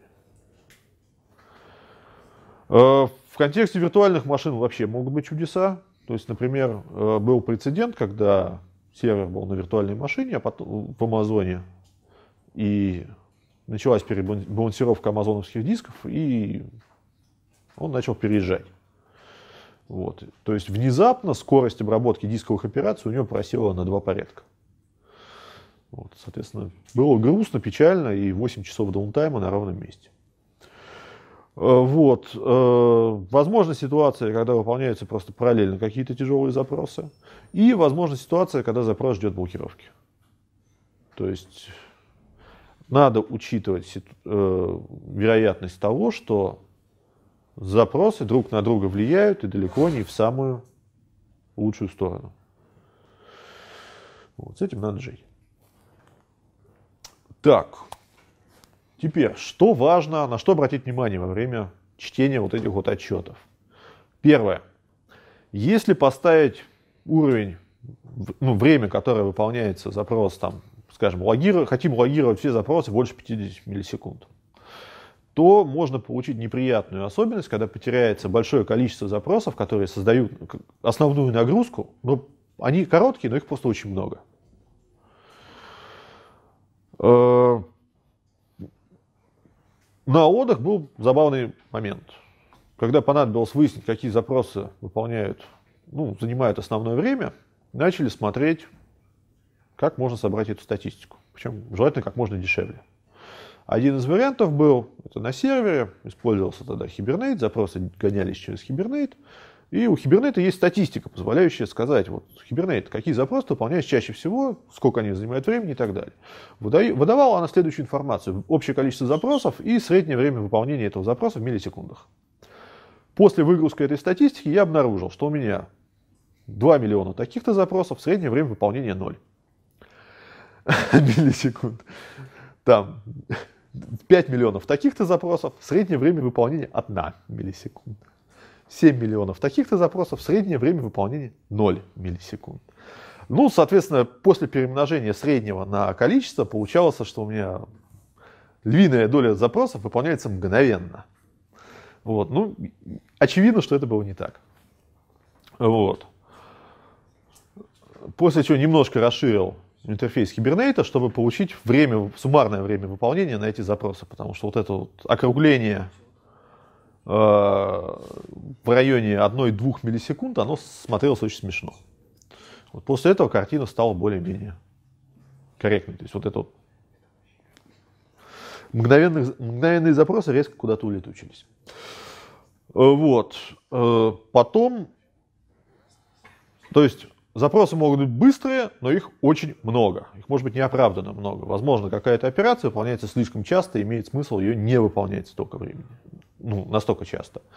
Э, потом, часть запросов может быть длинными по определению. Ну, например, есть какая-то статистика, которая снимается раз в месяц, занимает этот съем статистики 30 минут, и, в общем-то, всех это устраивает. То есть, да, запрос длинный, он явно больше 10 миллисекунд. Там, больше, более, больше секунды, 30 минут выполняется. Ну, ну и черт с ним. Как бы выполняется в 4 часа ночи, и никому он не интересен. Вот. Результат все равно раньше утра никто не увидит. Значит, и еще один важный момент – это ситуация, когда запросы, которые раньше отсутствовали в топе, внезапно там появились. То есть возможна ситуация, когда какие-то изменения приложения привели к тому, что операции, которые раньше выполнялись редко, теперь выполняются часто и отъедают кучу времени. Вот это тоже важно мониторить. И разбираться, собственно, по какому праву. Ну хорошо, мы нашли запросы, которые выполняются долго. Что можно сделать в этой ситуации, которые отъедают основное время? Вариантов, в общем-то, два. Ну, нет, два это мало, больше. Значит, первый вариант очевидный. Самый, наверное, предпочтительный. Сделать так, чтобы этот запрос не выполнялся настолько часто. Но, к сожалению, он не всегда возможен. А второй вариант – это оптимизировать этот запрос, либо как-то его переосмыслить. Значит,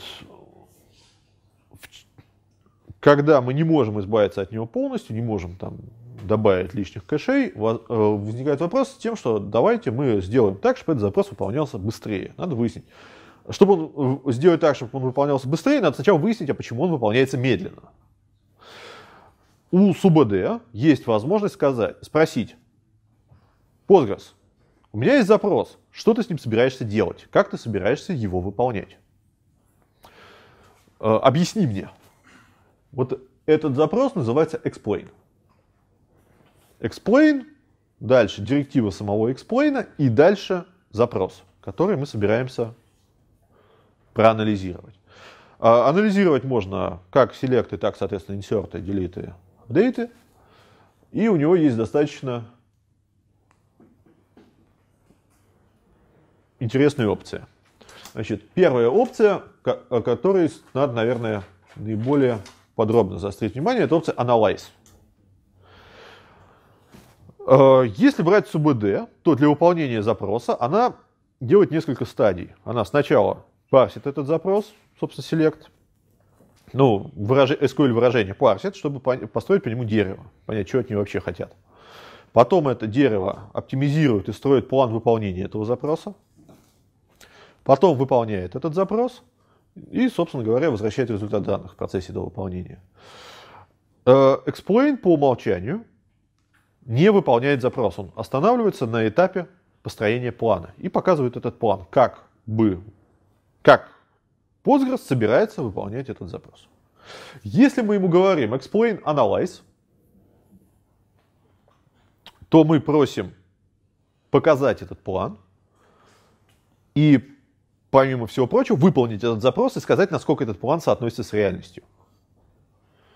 То есть в случае с эксплойном мы говорим, вот запрос, как ты собираешься выполнять, покажи мне. А в случае с Exploit Analyze там еще будут присутствовать информация, помимо того, как он собирался это выполнять, сколько фактически было затрачено времени на данные шаги и так далее. То есть нас, э, можно понять, насколько его ожидания соответствуют реальности. Вербоус. Ну, можно несколько увеличить количество информации, которую он вываливает на голову несчастного разработчика. Кост печатать стоимости операции, которую он предполагает. Буферс информация о том, как он использует буфера, э, данные кэша, насколько он попал в кэш, что он читал с диска и так далее. Время по умолчанию и формат. По умолчанию идет текстовый формат. Значит, стоимости операций и тайминги по умолчанию включены, э, буферы по умолчанию выключены. Э, формат текста создан для того, чтобы его читали люди. И в основном как бы придется иметь дело именно с ним. Формат XML, JSON и YAML создан для того, чтобы его читали программы. Некоторые программы, например, PGAdmin, умеют строить на базе вот этого вывода эксплейна красивую схему того, как этот запрос будет выполняться. Важная ремарка по поводу анализа. Когда мы говорим explain analyze, explain не только построит план, но и реально выполнит этот запрос. Это значит, что если мы хотим проанализировать, скажем, delete, то разумно его обернуть в транзакцию. Начать транзакцию, выполнить explain и откатить эту транзакцию, чтобы записи вернулись обратно. Иначе эта операция будет одноразовой. Вот.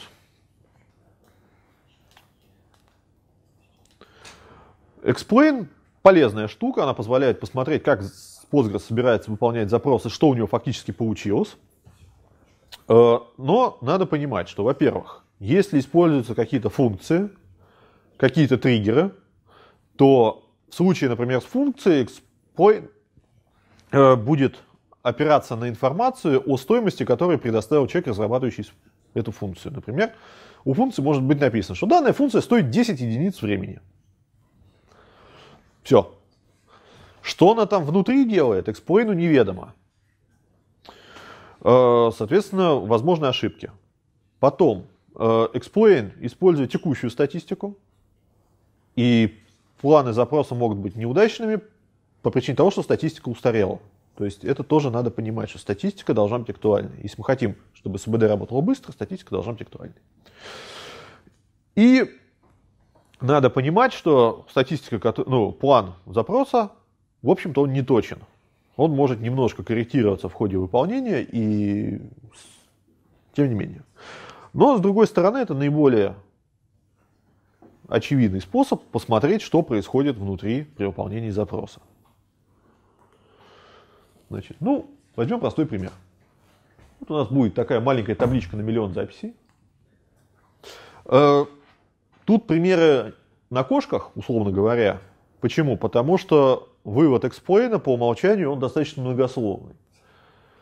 Э, также я рекомендую по возможности использовать explain analyze. На слайдах он не используется по причине того, что строка увеличивается по длине вдвое. И я боюсь, что если я уменьшу шрифт настолько же, то никто ничего не увидит. Поэтому пока будем довольствоваться просто explain. Значит, explain select звездочка from full. У нас есть таблица, в ней миллион записей. И в этой таблице мы хотим узнать, а что будет делать Postgres, если мы попросим у него все записи. Postgres честно говорит, что у него будет такой простой план. Последовательное чтение из таблицы. Стоить оно будет 18, единиц, 18 тысяч единиц времени. И он думает, что по результату данного запроса он вернет миллион записей.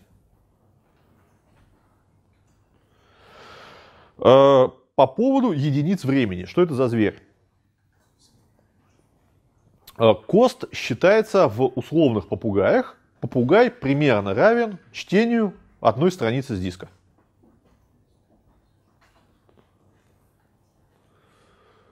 Вот. Ну, как-то так. Одна страница? Одна страница это одна страница. Там, я не помню, то ли 8, то ли 64 килобайта. То есть это как бы тут важно не абсолютная величина, а важно относительная. То есть у него оценки строятся на относительных величинах. Причем, насколько я могу ошибаться, но если не ошибаюсь, кост это чтение последовательное. Ну ладно, поехали дальше. А, а можно просто? Да. А как он может вообще ну, такой диапазон выдавать, потому что, ну как может быть 0.00 вообще чисто в теории? Э, Начало выполнения, конец выполнения. То есть тут немножко хитро. А, а если несколько операций, то начало может разниться. Вот, ну то есть они могут одна за другой следовать.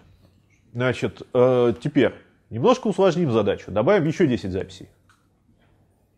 Теперь у нас в базе не миллион записей, ну в таблице не миллион записей, а миллион 10 записей. Что, в общем-то, на 10 больше, чем было. И говорим, explain, скажи мне, как ты собираешься выполнять запрос select звездочка from этой таблицы? Если обратить внимание, то, в общем-то, ничего не поменялось. Ну, то есть он как предполагал, что он выгребет миллион записей, так он и предполагает. Какая у него была оценка на 18 334 запись, э, ну, единицы чтения, так, собственно, осталось. Почему? Записей фактически больше. А, Есть предположение? 10 это мало. Он, он их округляет. Нет, не округление. Статистика поздно собралась тоже. Статистика. Статистика не поменялась. Статистика не поменялась, он, счит- он делает выводы о стоимости выполнения на базе предыдущей статистики. В нашем случае это не является катастрофой, потому что 10 записей, в общем-то, не беда. Но если ему сказать, пересобери статистику по таблице, analyze full, и заново запросить план запроса, то мы увидим, что он немножечко поменяется. Вот.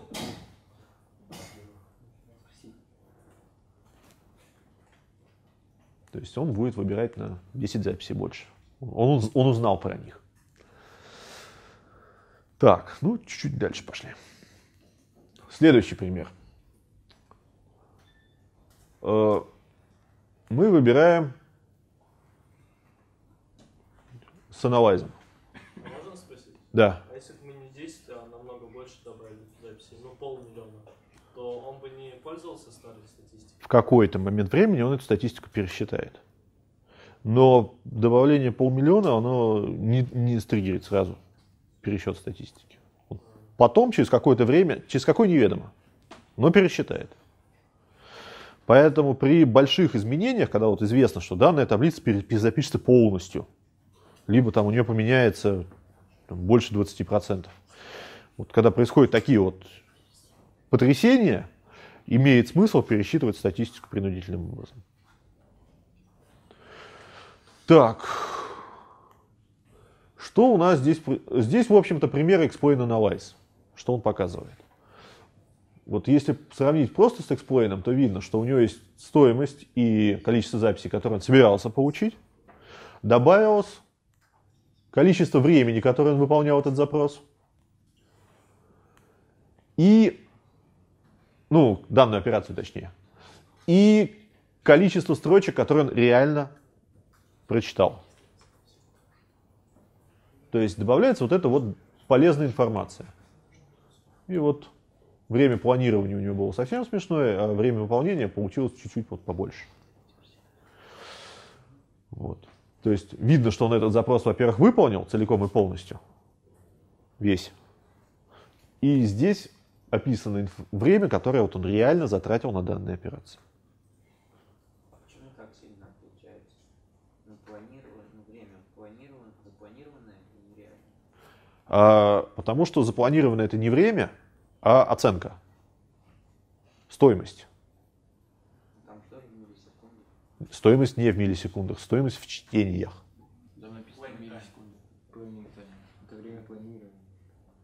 Planning time это время планирования самого. Есть, А. Запрос очень простой. Таблица без индексов. Э, вариантов о том, как можно его выполнять, в общем-то, немного. Поэтому он планирует быстро, но выполняет не очень. Так. Ну, вот за счет того, что вот, эти, вот эта строчка, она на самом деле одна. Вот эта строка на самом деле одна. Вот. Поэтому я говорю, что сейчас э, Analyze я использовать не буду. Ну, просто по причине того, что нет места на слайдах. Итак, стена текста. В. Запрос еще немножечко усложняется. Мы хотим получить все записи, у которых C1 больше 500. Ну, достаточно легко посчитать, сколько таких записей. Поскольку у них там последовательно идут эти C1 увеличивался инкрементально, то мы, мы знаем, что таких записей у нас будет без 5, без, ну, короче, 999 550. Ой, точнее, 510. Вот. А, и если посмотреть на план, то видно, что, во-первых, у него количество записей, которые он собирается прочитать, будет отличаться от того, который он реально прочитает, ну, потому что это все-таки данные, на которые он опирается, это статистика. Тут не точные данные, тут именно статистические. Соответственно, какая-то погрешность есть. И он все равно будет использовать полный просмотр таблиц, последовательный, последовательное чтение таблиц. И добавилась еще одна строчка, что он произведет фильтрацию вот этого результата последовательного чтения по условию. C1 должно быть больше 500. Вот. Мы создаем индекс. Создали индекс, мы молодцы, и говорим, давай, сделай точно такой же запрос. Ничего не поменялось. Почему ничего не поменялось? Нет, не статистика. Значит, так лучше Там было. выигрыш от индекса несущественный. В индекс... То есть он, он проиграет от просмотра больше, Да. чем выигрыш индекс? Он проиграет от просмотра п- гораздо больше, от скакания по данным гораздо больше, чем выиграет от того, что будет э, отсечет вот эти 500 записей по индексу. Вот. Если сделать здесь не больше, а меньше, тогда картина поменяется. Отсечется уже гораздо больше записей, чем будет получено. Индекс обретает смысл. И мы видим, что он сделает индекс скан. При этом при сканировании будет использоваться индекс с горным именем foo c1 и dx. Вот. Стоимость запроса здесь была 20 тысяч, здесь 25. Резко упала. Вот. Количество записей, которые он получит, ну, грубо говоря, 503 он ожидает получить. И условия, по которым он потом это дело проверит, ну, по которым он будет проверять индекс C1 меньше 500. Значит, если добавить еще одно поле, то мы видим, что, в общем-то, немножечко поменялось. Все то же самое, только добавилась еще фильтрация по тексту.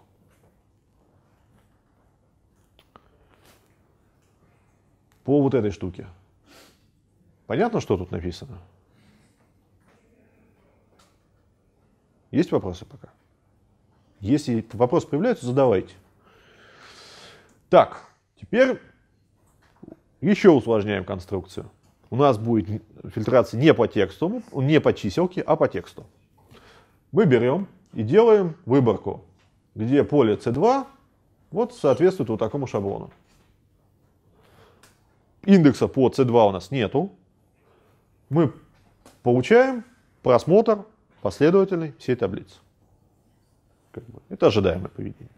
Мы создаем индекс по C2, выполняем план запроса и получаем внезапно полный просмотр всей таблицы. Есть предположение, почему? Мы не разрешили использовать индекс для лайк. М? Там же надо было указывать, что лайк может использовать этот индекс. Да.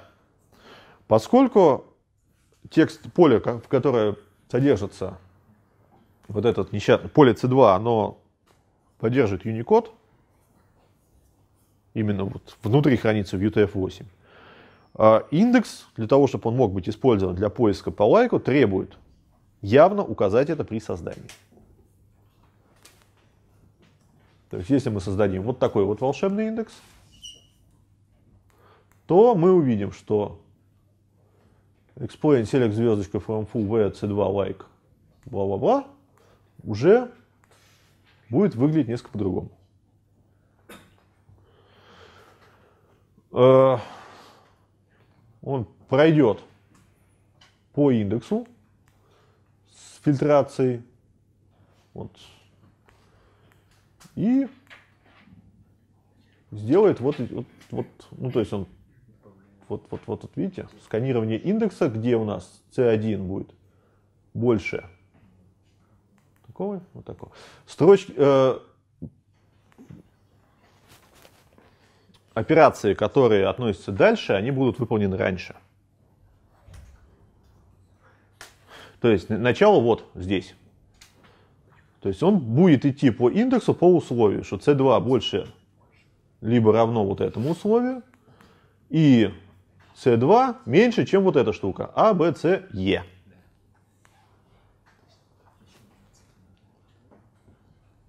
Откуда взялось А, Б, С, Е, понятно?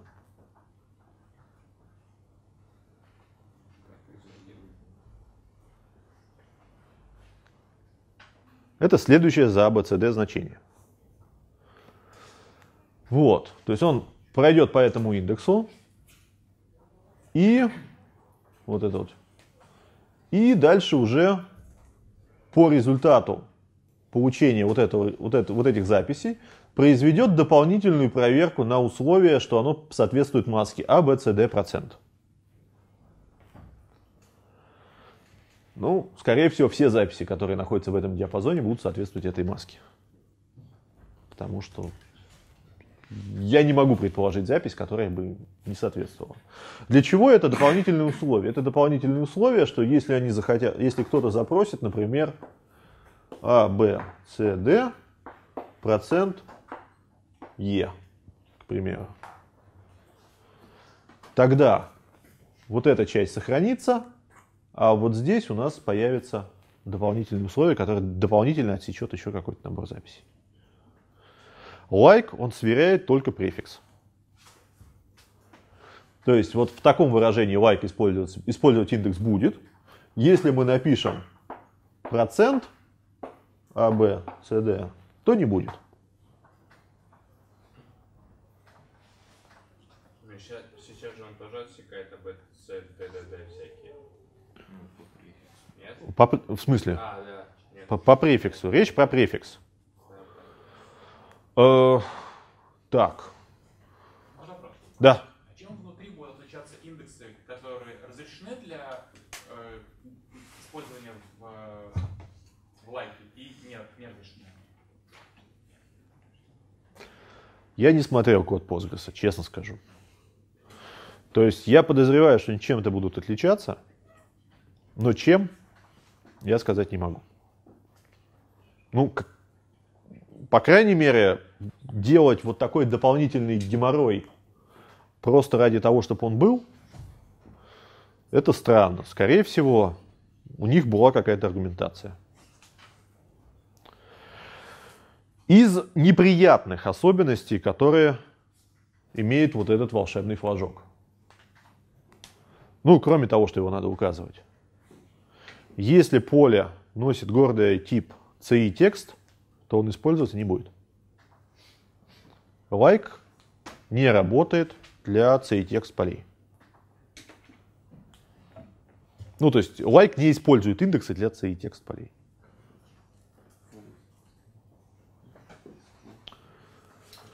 Так, А остальные там сравнивать больше, меньше работает индекс для текст. Да, больше-меньше равно работает. Речь идет про лайк, речь идет про regex. И опять-таки, повторюсь, regex будет работать только в том случае, если он по префиксу сравнивает. То есть regex вида А, Б, С, Д использует индекс. regex вида А, Б, С, Д не использует индекс. Ну, в смысле, там, точка, звездочка. Ну и даже без звездочки. Так, то есть важно, что индекс используется только для префиксов. Так. Далее. Еще один важный момент. Поскольку мы таблицу давно не меняли, если произойдет несколько, вак- э, несколько операций там вакуумов и нету кортежей, которые мертвые, то можно получить возможность выполнить индекс only scan, то есть воспользоваться покрывающим индексом. То есть здесь все транзакции, которые добавляли в запись, уже были завершены, удаления записи не было.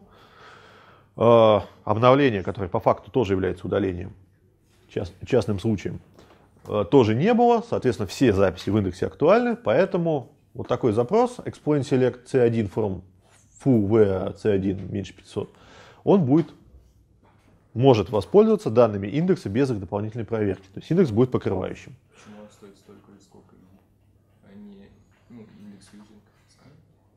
Индекс only scan. Ну, был еще запрос э, этого, который использовал не индекс only, а индекс scan using. Стоило столько. Ну, трудно сказать. Тут, в общем-то, не то, чтобы очень много оно будет вычитывать. И как бы обычно индекс only гораздо быстрее. Но тут еще важно понять то, что сама таблица, она создавалась путем автоинкремента. То есть фактически они лежат по порядку. Оно упорядочено по этому полю. Ну, поехали дальше. Ой, два одинаковых слайда. Беда. Так, теперь сортировка. Значит, мы хотим, удалили индекс, для примера. Мы хотим отсортировать данные по C1. Select звездочка from имя таблички order by. Индекса у нас сейчас нет. Мы его только что удалили. Что произойдет в этой ситуации? В этой ситуации сейчас, мы последовательно читаем. Еще раз напомню, что мы читаем снизу вверх. Точнее, даже вот, вот эта вот операция первая. Мы начинаем читать. Мы читаем, читаем, читаем, читаем, читаем, читаем, и мы прочитали строчки. Теперь мы эти строчки сортируем. Вот здесь, кстати, можно обратить внимание, то, что стоимость начинается не с нуля. И начинаем сортировать. Сортируем, сортируем, сортируем, сортируем, сортируем, сортируем, сортируем. Молодцы. Отсортировались. Так, сейчас я вспомню, что вот этот вот кост значит. Это, по-моему, первый кост это время на первую запись, скорее всего. Я сейчас сходу не отвечу, но, по-моему, это время на первую запись. Вот, то есть здесь результат будет только тогда, когда вся эта операция закончится.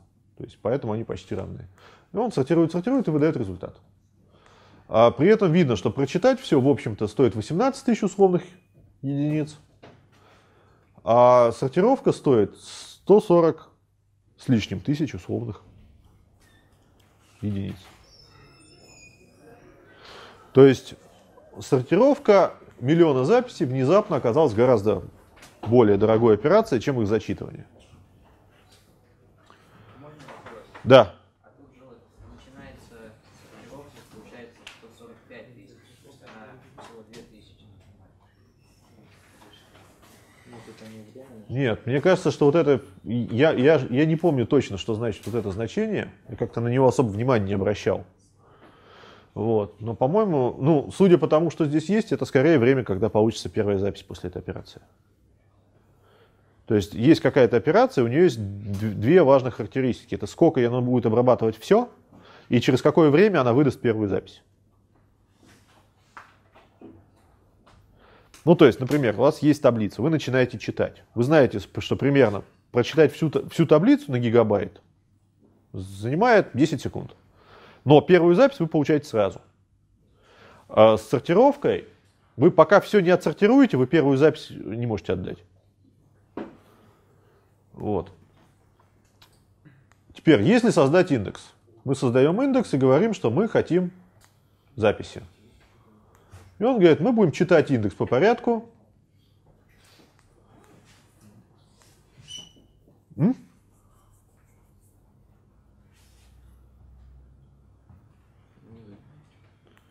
Так, сейчас я. Create индекс. Что-то тут пошло не так. Я, да, я его раскопировал, похоже. Ладно, черт с ним.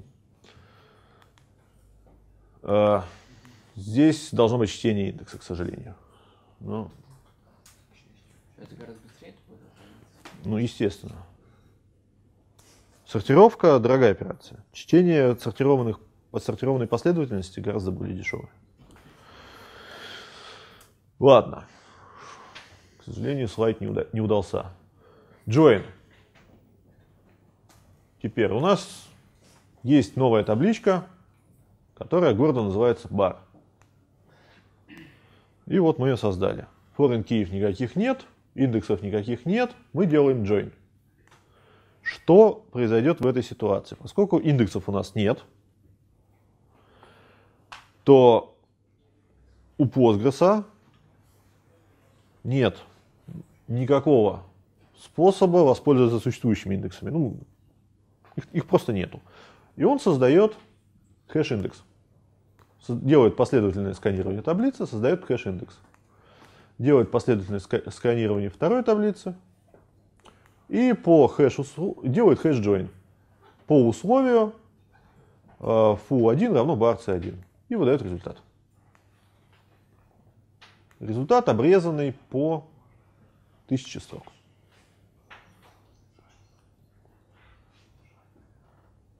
То есть индекса нет, сначала строятся две хэш-таблицы,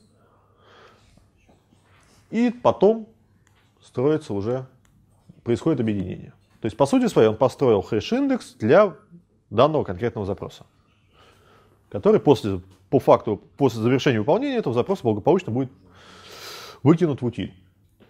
Значит, и еще одна важная деталь, то, что изначально строит он хэш индекс по меньшей таблице. Потом идет по большей таблице и находит записи, которые соответствуют условиям. Понятно, что происходит, нет?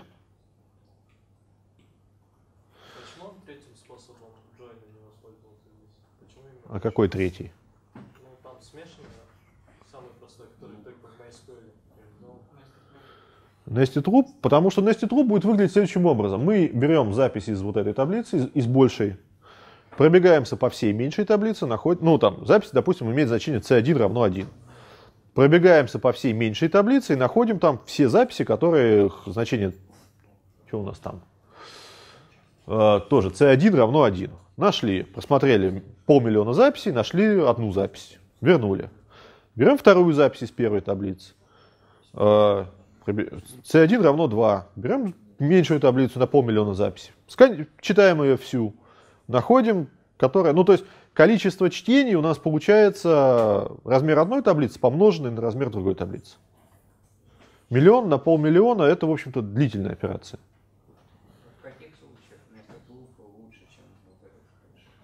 Когда можно задешево посмотреть запись в соседней таблице.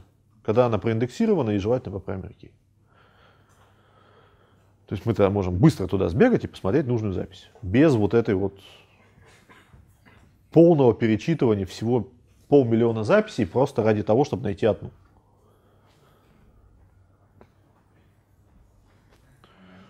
Ну, очевидно, что миллион раз прочитать полмиллиона записей это не самое оптимальное решение. Так, усложняем задачу. Создаем индекс по полю C1. И говорим, что делать? Что ты будешь делать в случае джойна? В результате происходит следующее. Идет сканирование по индексу C1 и последовательный скан по таблице foo. И вот на, на базе вот этих двух вещей, то есть мы идем по, по большей таблице, а из меньшей таблицы мы в nested loop будем лукапить по условию c1 равно foo. То есть он как раз воспользуется nested loop. Э, в данном случае вот эта вот операция получения нужной записи, она будет заметно дешевле, потому что он просто по индексу возьмет нужную запись.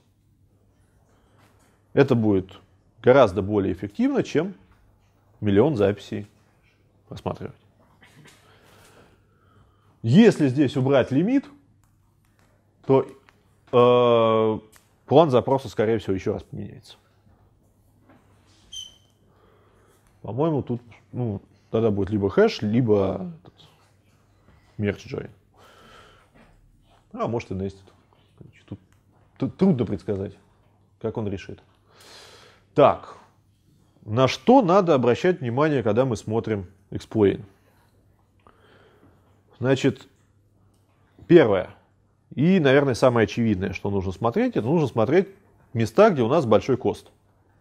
То есть, если у нас операция с точки зрения СУБД будет дорогой, разумно посмотреть на нее в первую очередь. А, второе, что нужно смотреть, последовательные чтения. Вот этот вот, sequence scan. А, почему? Потому что обычно это значит, что у нас нет индекса. Есть исключения из этого правила. Если у нас как, какая-то таблица содержит в себе, грубо говоря, 20 записей, то там всегда будет sequence scan. То есть ее в любом случае последовательно прочитать быстрее, ну просто потому что она маленькая. Вот. Если там какое-то более-менее разумное количество записей, ну, более-менее крупное, тогда это повод посмотреть на этот участок. Дальше. А, если идет какой-то VA, то большое количество записей, отброшенных по фильтру, это тоже признак того, что что-то пошло не так. Это значит, что в данном случае он просматривает либо записи в базе, либо записи индекса, но вот именно путем без вот использования магии индексов. То есть просто вот на простое сравнение. И сортировка для большого количества записей тоже очень и очень дорогая операция. Если у нас опять-таки 20 записей, то отсортировать их быстро. Если у нас миллион записей, тогда печаль. Ну, вернемся к нашим зомби. Значит, я немножко сократил тот запрос и убрал из него рейтинг. И у меня получился вот такой вот запрос. Вывести все комедии, которые про зомби. Вот это вот несчастная база на 2 гигабайта, в которой большая часть это, собственно, рейтинги, все остальное это э, достаточно такой длинный join, но он простой сам по себе. Если его выполнить, то мы увидим, что мы получим 21 строчку, 21 зомби, 21 фильм про зомби, и выполняться он будет 2 миллисекунды, ну, 182 миллисекунды. 2 десятых секунды почти. А если выполнить эксплойн этого запроса, то мы увидим примерно следующую картину. Если выполнить этот запрос, значит, то можно увидеть эксплойн. Эксплойн текстовый обычно смотрится несколько страшно, особенно для крупных запросов. В PG-админе можно увидеть графический эксплойн. Выглядит он примерно следующим образом. Nested Loop идет по фильмам. И здесь идет просмотр жанров, подсчет хэшов, хэш, подсчет хэшей, хэш-join, хэш-join с movie жанр, э, просмотр тегов. Э, при этом в, в тегах и в жанрах идет проверка на условия выборки. Э, мы это можем увидеть, если наведем мышкой на эти поля, когда откроем это дело в PG-админе. Ну, это статическая картинка, здесь мышкой наводить не получится. Здесь просмотр тегов, и вот хэш-join, хэш-join, хэш-join, хэш-join, индексов никаких нет. Зато на данном варианте отображения очень хорошо видна стоимость запросов. Стоим... Чем больше стоимость операции, тем толще стрелочка. Из чего можно заключить вывод, что, в общем-то, все плохо. Значит, если посмотреть текстовое представление, то мы увидим примерно вот такую колбасу. Значит, стена текста. И что здесь важно и полезно? Первое. Э, Очень много последовательного сканирования. Последовательное сканирование, последовательное сканирование, последовательное сканирование. Это дорогие операции, от них надо избавляться. Это значит, не хватает индексов. Фильтрация по названию, которая, вот эта строка Rows Removed by Filter, она видна в анализе. Я ее сюда добавил отдельно, просто, просто для иллюстрации. И видно, что от- отсечено было почти все, почти вся таблица.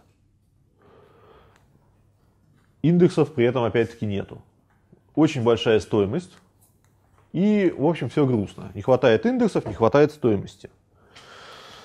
Э, Самый простой вариант, который вообще очи- очевидное решение, это добавить индексы.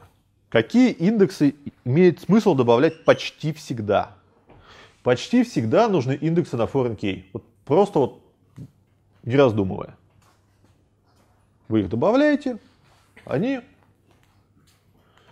будут потом использоваться. И они, во-первых, нужны для того, чтобы делать джойны. А во-вторых, они будут полезны, если вы захотите либо ну, удалить записи из родительской таблицы. Потому что при удалении записи из родительской таблицы, в частности, нужно проверить, а есть ли записи в дочерней. Без индекса это будет дорогой операцией. То же самое касается с обновлением записи, когда меняется primary key. Ну, а менять записи, когда менять в записях primary key вообще плохая идея. Но, тем не менее. И в нашем случае идет явно запрос по названию и тегам, по ним тоже нужно по индексу создать. Поскольку мы используем like, текст pattern ops. Индекс по названию фильма здесь за компанию, он, в общем-то, не нужен для данного запроса. Далее. Индексы были созданы, но статистики нету по этим. То есть это как бы глобальное изменение. Лучше пересчитать статистику, иначе можно получить ситуацию, когда они будут использоваться не очень удачным способом. То есть нужно еще пересчитать статистику, анализ. Так, если выполнить предыдущий запрос, кто-нибудь помнит, сколько времени он до этого выполнялся? 7. А, 3, 128, 182. Собственно говоря. Он выполнялся где-то 182 миллисекунды. Сейчас он стал выполняться 12. быстрее.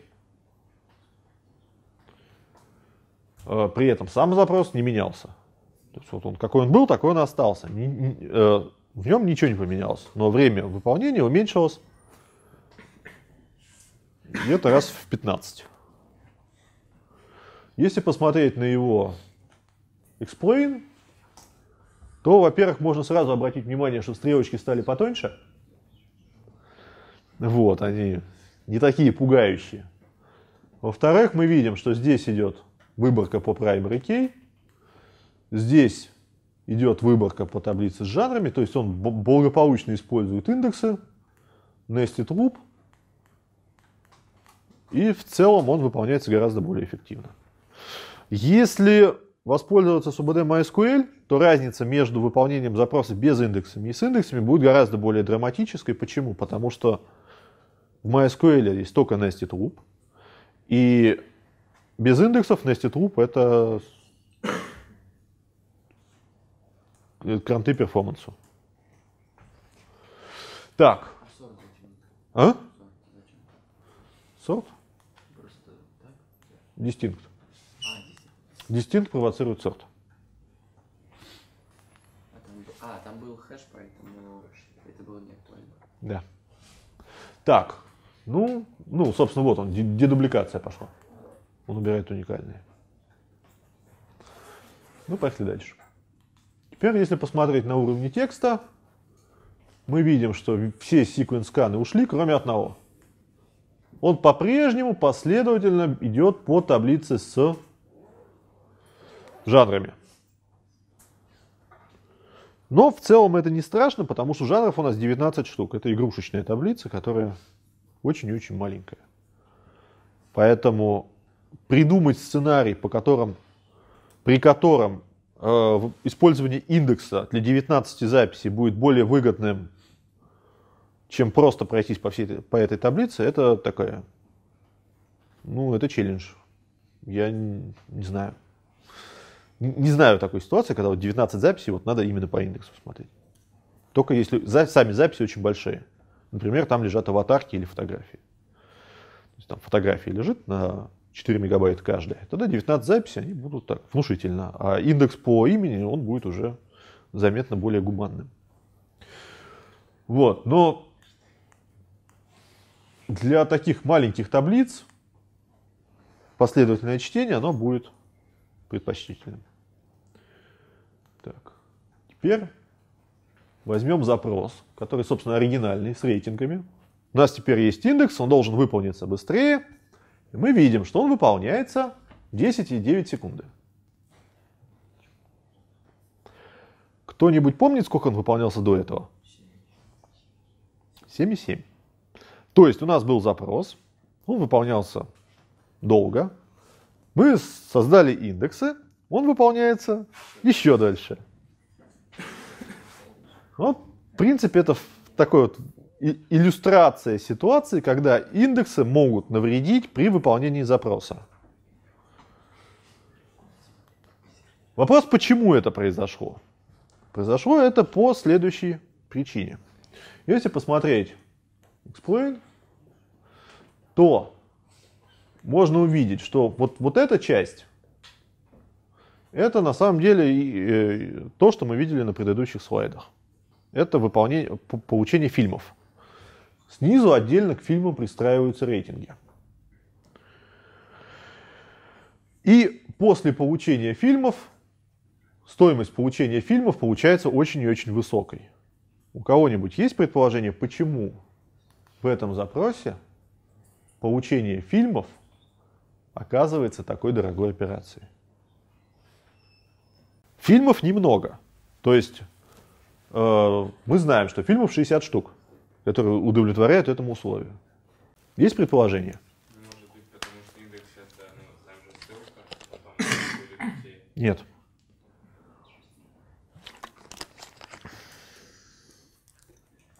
Давайте вернемся к предыдущему запросу, который и посмотрим, почему он возвращает 21 запись. Ну, отличаются на самом деле они только последней строкой. Ну, разница между точным соответствием и соответствием ну, маске, так сказать. Нет, если посмотреть внимательно на этот запрос, то видно, что вот здесь есть вот этот вот степ последний. Если его убрать, что получится, как вы думаете? Количество записей резко возрастет. За счет чего? Откуда берутся дубликаты?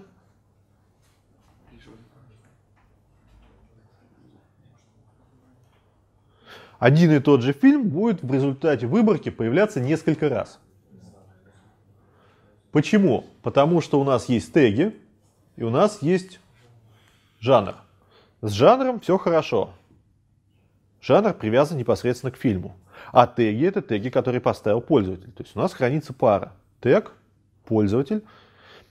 И если один пользователь поставил тег фильм про зомби, второй пользователь поставил тег, тег про, э, фильм про зомби, 10 пользователей проставил тег фильм про зомби, то мы увидим этот фильм по результатам данной выборки 10 раз. Поскольку теги ставят пользователи, тегов может быть очень много у одного и того же фильма. Хотя визуально они одинаковы. И вот, собственно, если этот дистинкт убрать, то мы получим гораздо большее количество записей, чем 21 штуку здесь и 60 штук здесь. То есть мы видим, что здесь берется среднее.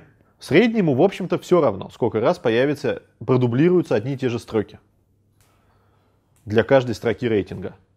То есть у нас получилась следующая ситуация. У нас есть фильм. Фильма, допустим, 40 тег, э, 100 тегов про зомби и 500 записей про рейтинг. Мы помножаем 100 на 500, и получается, что в результате вот этого радостного джойна у нас будет на один фильм 50 тысяч записей. Вот просто из ниоткуда. Дальше он по всему этому делу радостно соберет среднее. То есть, и за счет вот, вот, вот этого количества тегов у нас получается вот здесь достаточно жирная стрелочка.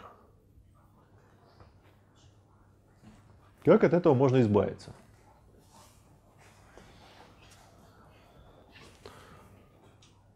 Мы выбираем все фильмы, которые нас интересуют, уникальным способом, ну, по одной штуке, и потом уже отдельно для них считаем рейтинги.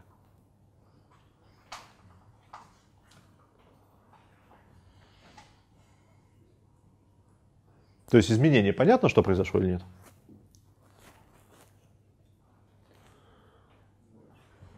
М?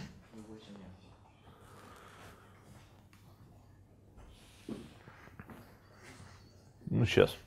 Попробую проиллюстрировать на доске.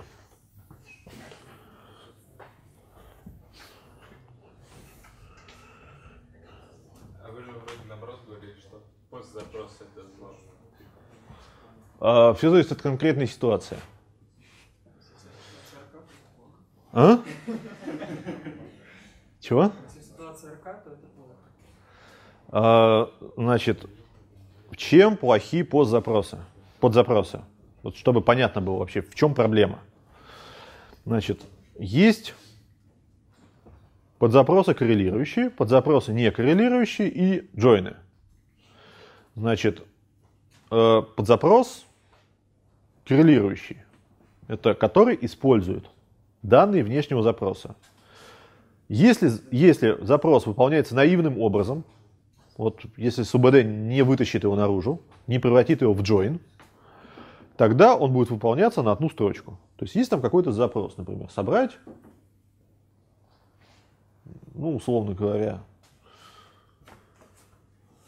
среднее вот по рейтингу, по рейтингу для фильма. И этот запрос будет выполняться на каждый раз, на каждую строчку.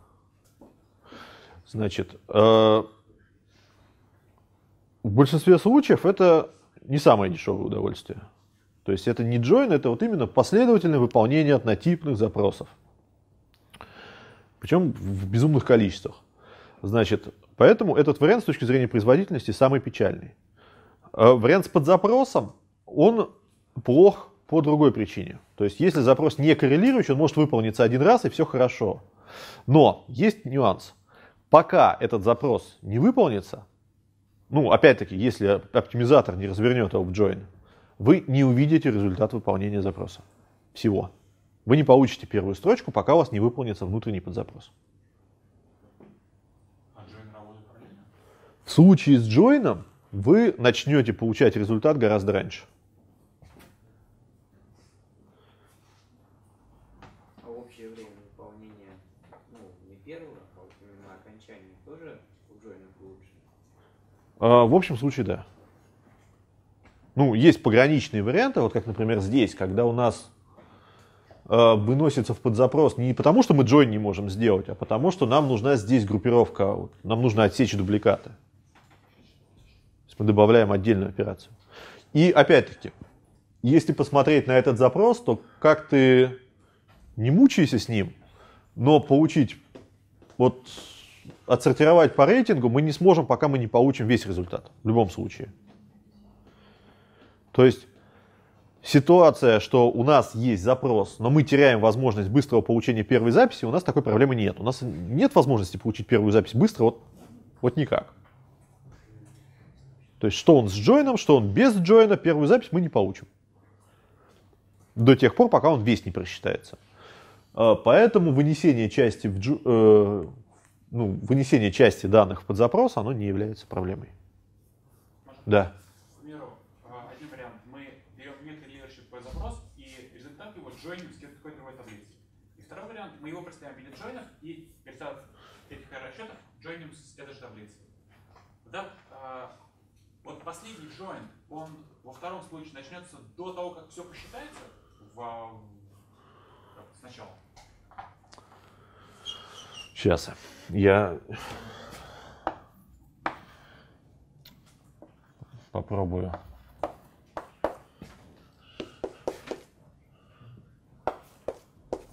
Так. попробую нарисовать запросики, чтобы как-то более конкретно. Значит,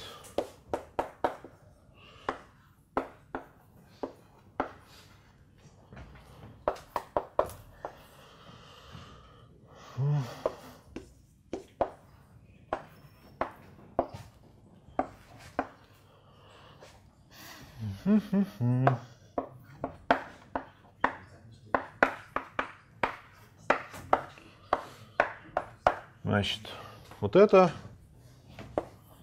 самый простой, самый канонический вариант джойна. Теперь попробуем с подзапросом, не коррелирующим.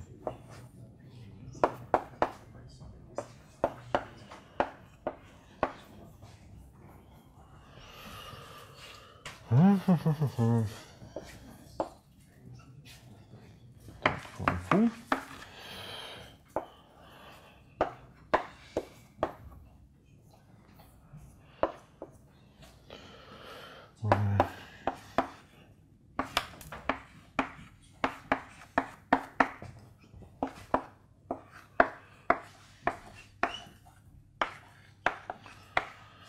Так, это вариант с некоррелирующим подзапросом. Теперь с коррелирующим.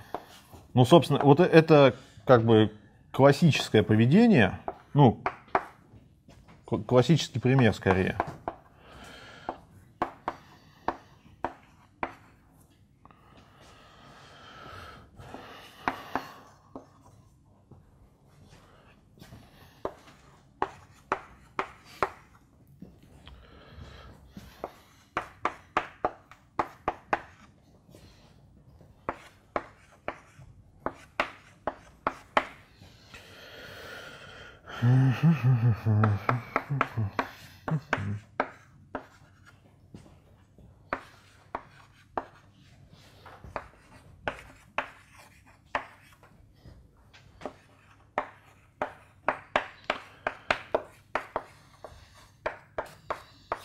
Так.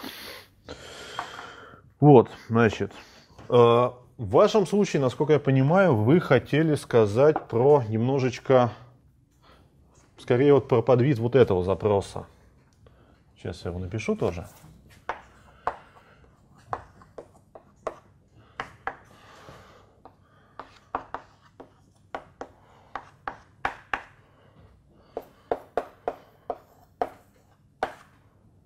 Даже, наверное.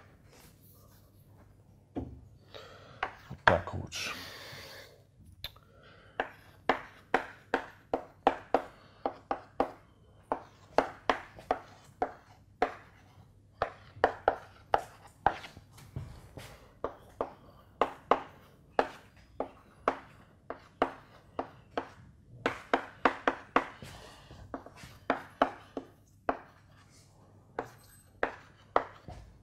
Так, это у нас будет F, это у нас будет B.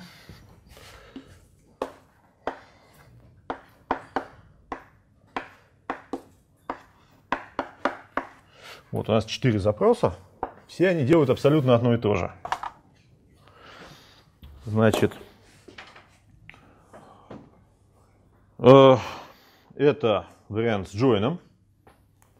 Это вариант с некоррелирующим подзапросом, потому что здесь select x from bar может выполниться независимо от внешней части. Это вариант с коррелирующим подзапросом. Select звездочка from foo where exists. И дальше здесь используется foo от x. Ну, x от, от этого, от таблицы foo. Вот. Это тот вариант, про который был вопрос, если я правильно понимаю. Похож или нет? Да. Вот, значит, здесь, ну, Содом и Гамор. Значит, по поводу производительности.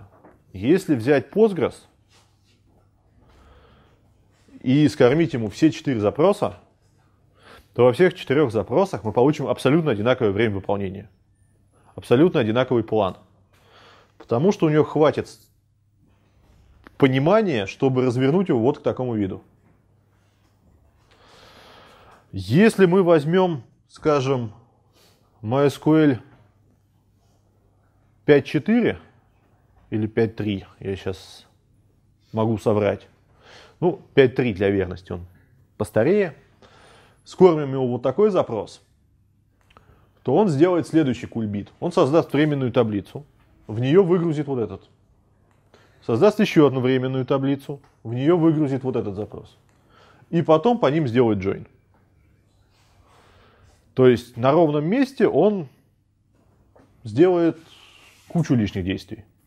Если взять последнюю версию MySQL 5.6, то у него хватит ума сообразить, что эти скобочки, в общем-то, ему без надобности.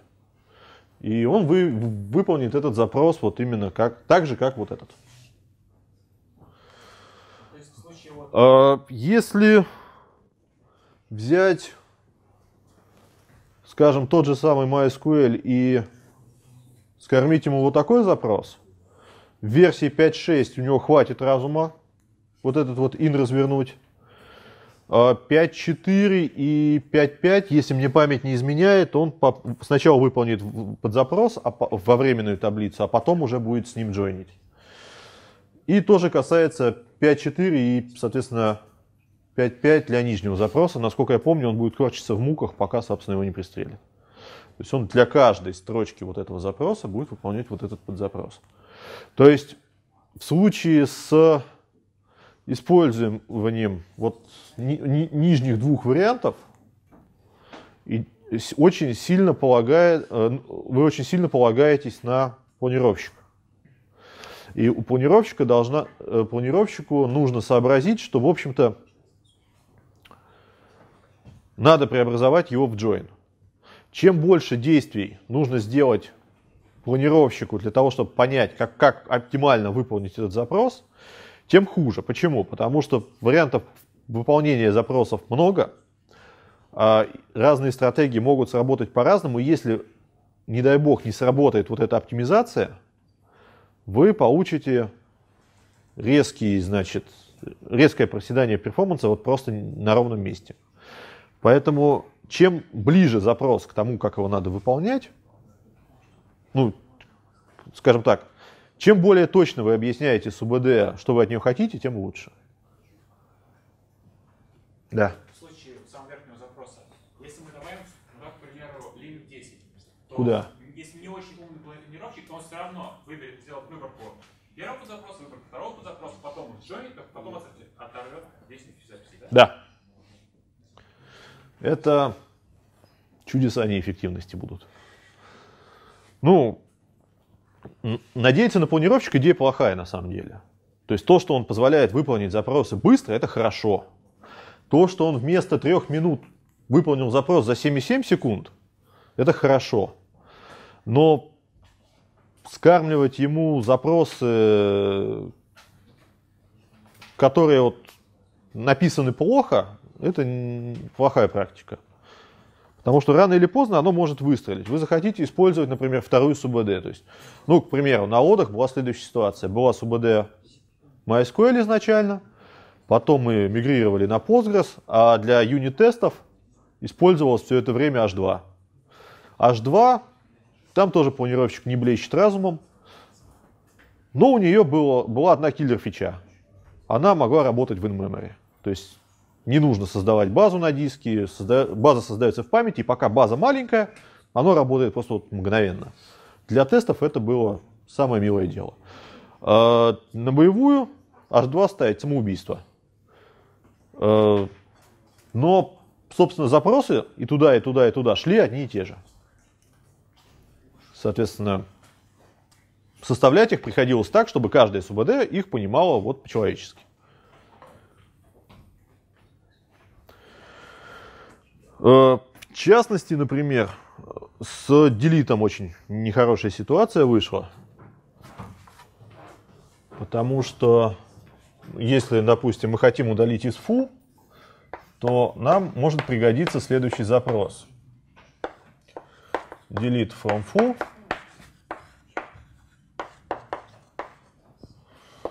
э, в x in select x from bar. Вот. Проблема данного запроса, вот конкретно вот этого с делитом, э, заключается в следующем. С точки зрения стандарта SQL, это, по-моему, единственный способ, который гарантированно позволит удалить все записи из таблицы foo, у которых x равно, ну, вот в этой вот табличке. То есть куча синтаксических расширений там с delete from, delete from join, delete from using, это как бы у каждой СУБД они свои, но тем не менее они являются расширениями нестандартные. При этом в MySQL до версии 5.5 включительно, если мне память не изменяет, вот этот вот нижний запрос, подзапрос, выполнялся не просто как подзапрос, а как коррелирующий подзапрос. И у меня была табличка бар, ну она немножко по-другому называлась, но суть это не меняет, в которой было 100 записей. А здесь вместо поля x было ID, а в табличке foo было 10 миллионов записей. То есть мне надо было просто удалить 100 записей с таблички foo. Они удалялись 40 минут. Это было крайне неприятно. То есть потом запрос был переписан, чтобы он выполнялся миллисекунды. Но самое обидное в этой конструкции было то, что переписать ее пришлось, помимо того, что его пришлось переписать, пришлось добавить вилки для каждой СУБД. Потому что они все разные. Вот. Так, продолжаем разговор. Postgres на эту тему очень хорошо работает. У него все хорошо. Он белый, пушистый, и я еще раз говорю, что вот все четыре варианта он выполнит одинаково хорошо. Он выполнит их одинаково и выполнит их хорошо. Даже так. Так, здесь, на чем мы остановились, я уже забыл. Да, 486 э, миллисекунд. Мы получили 60 строк. За счет чего? За счет того, что убрали вот этот вот ком записей, э, взрывной рост количества записей за счет это, картового произведения между тегами фильмов и рейтингами. У нас получается примерно так. Теперь у нас самая жирная полоска здесь. Что можно с этим сделать? А? С этим сделать можно следующий кульбит. Мы можем создать рейтинг, индекс по рейтингу, который содержит в себе сам рейтинг и идентификатор фильма.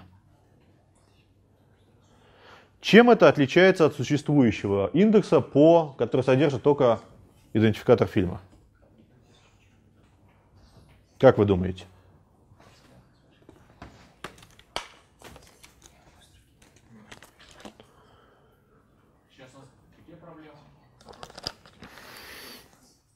Вот она. Рейтинги. Их много. Пользователи любят, ставить лайки.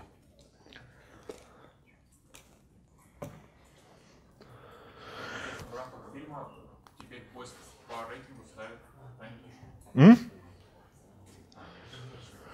А, суть данного изменения в том, что в данном конкретном случае у нас вся информация для получения рейтинга получается внутри этого индекса как идентификатор фильма, так и сам рейтинг. Нам не нужно смотреть в таблицу с фильмами. Нам достаточно этого индекса, в таблицу с рейтингами. Нам достаточно этого индекса. И мы получаем еще чуть-чуть более быстрое выполнение этого несчастного запроса.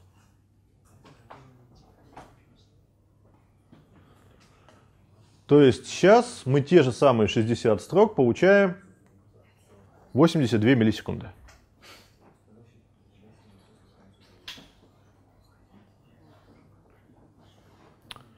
Причем идеологически у нас запрос не менялся. То есть он немножко был переписан вот здесь. И было построено несколько индексов. Время сократилось от 7,7 секунд до 82 миллисекунд.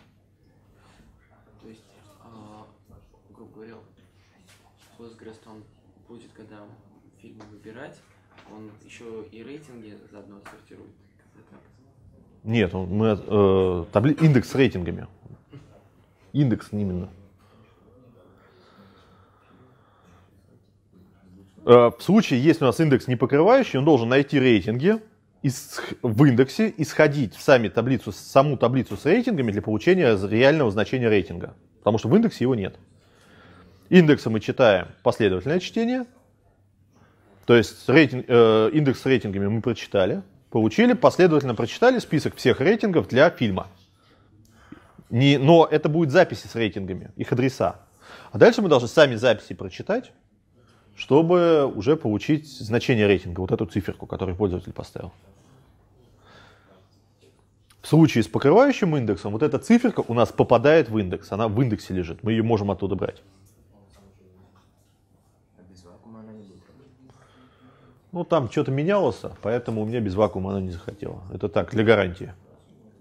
Нужно, чтобы там не было удаленных и измененных записей, которые не видны для текущей, ну, не, могут быть потенциально не видны для текущей транзакции. Вот как-то так. О том, как этот запрос ускорить еще сильнее, мы поговорим на следующей лекции. Вот. Ну, собственно, вот план текущий.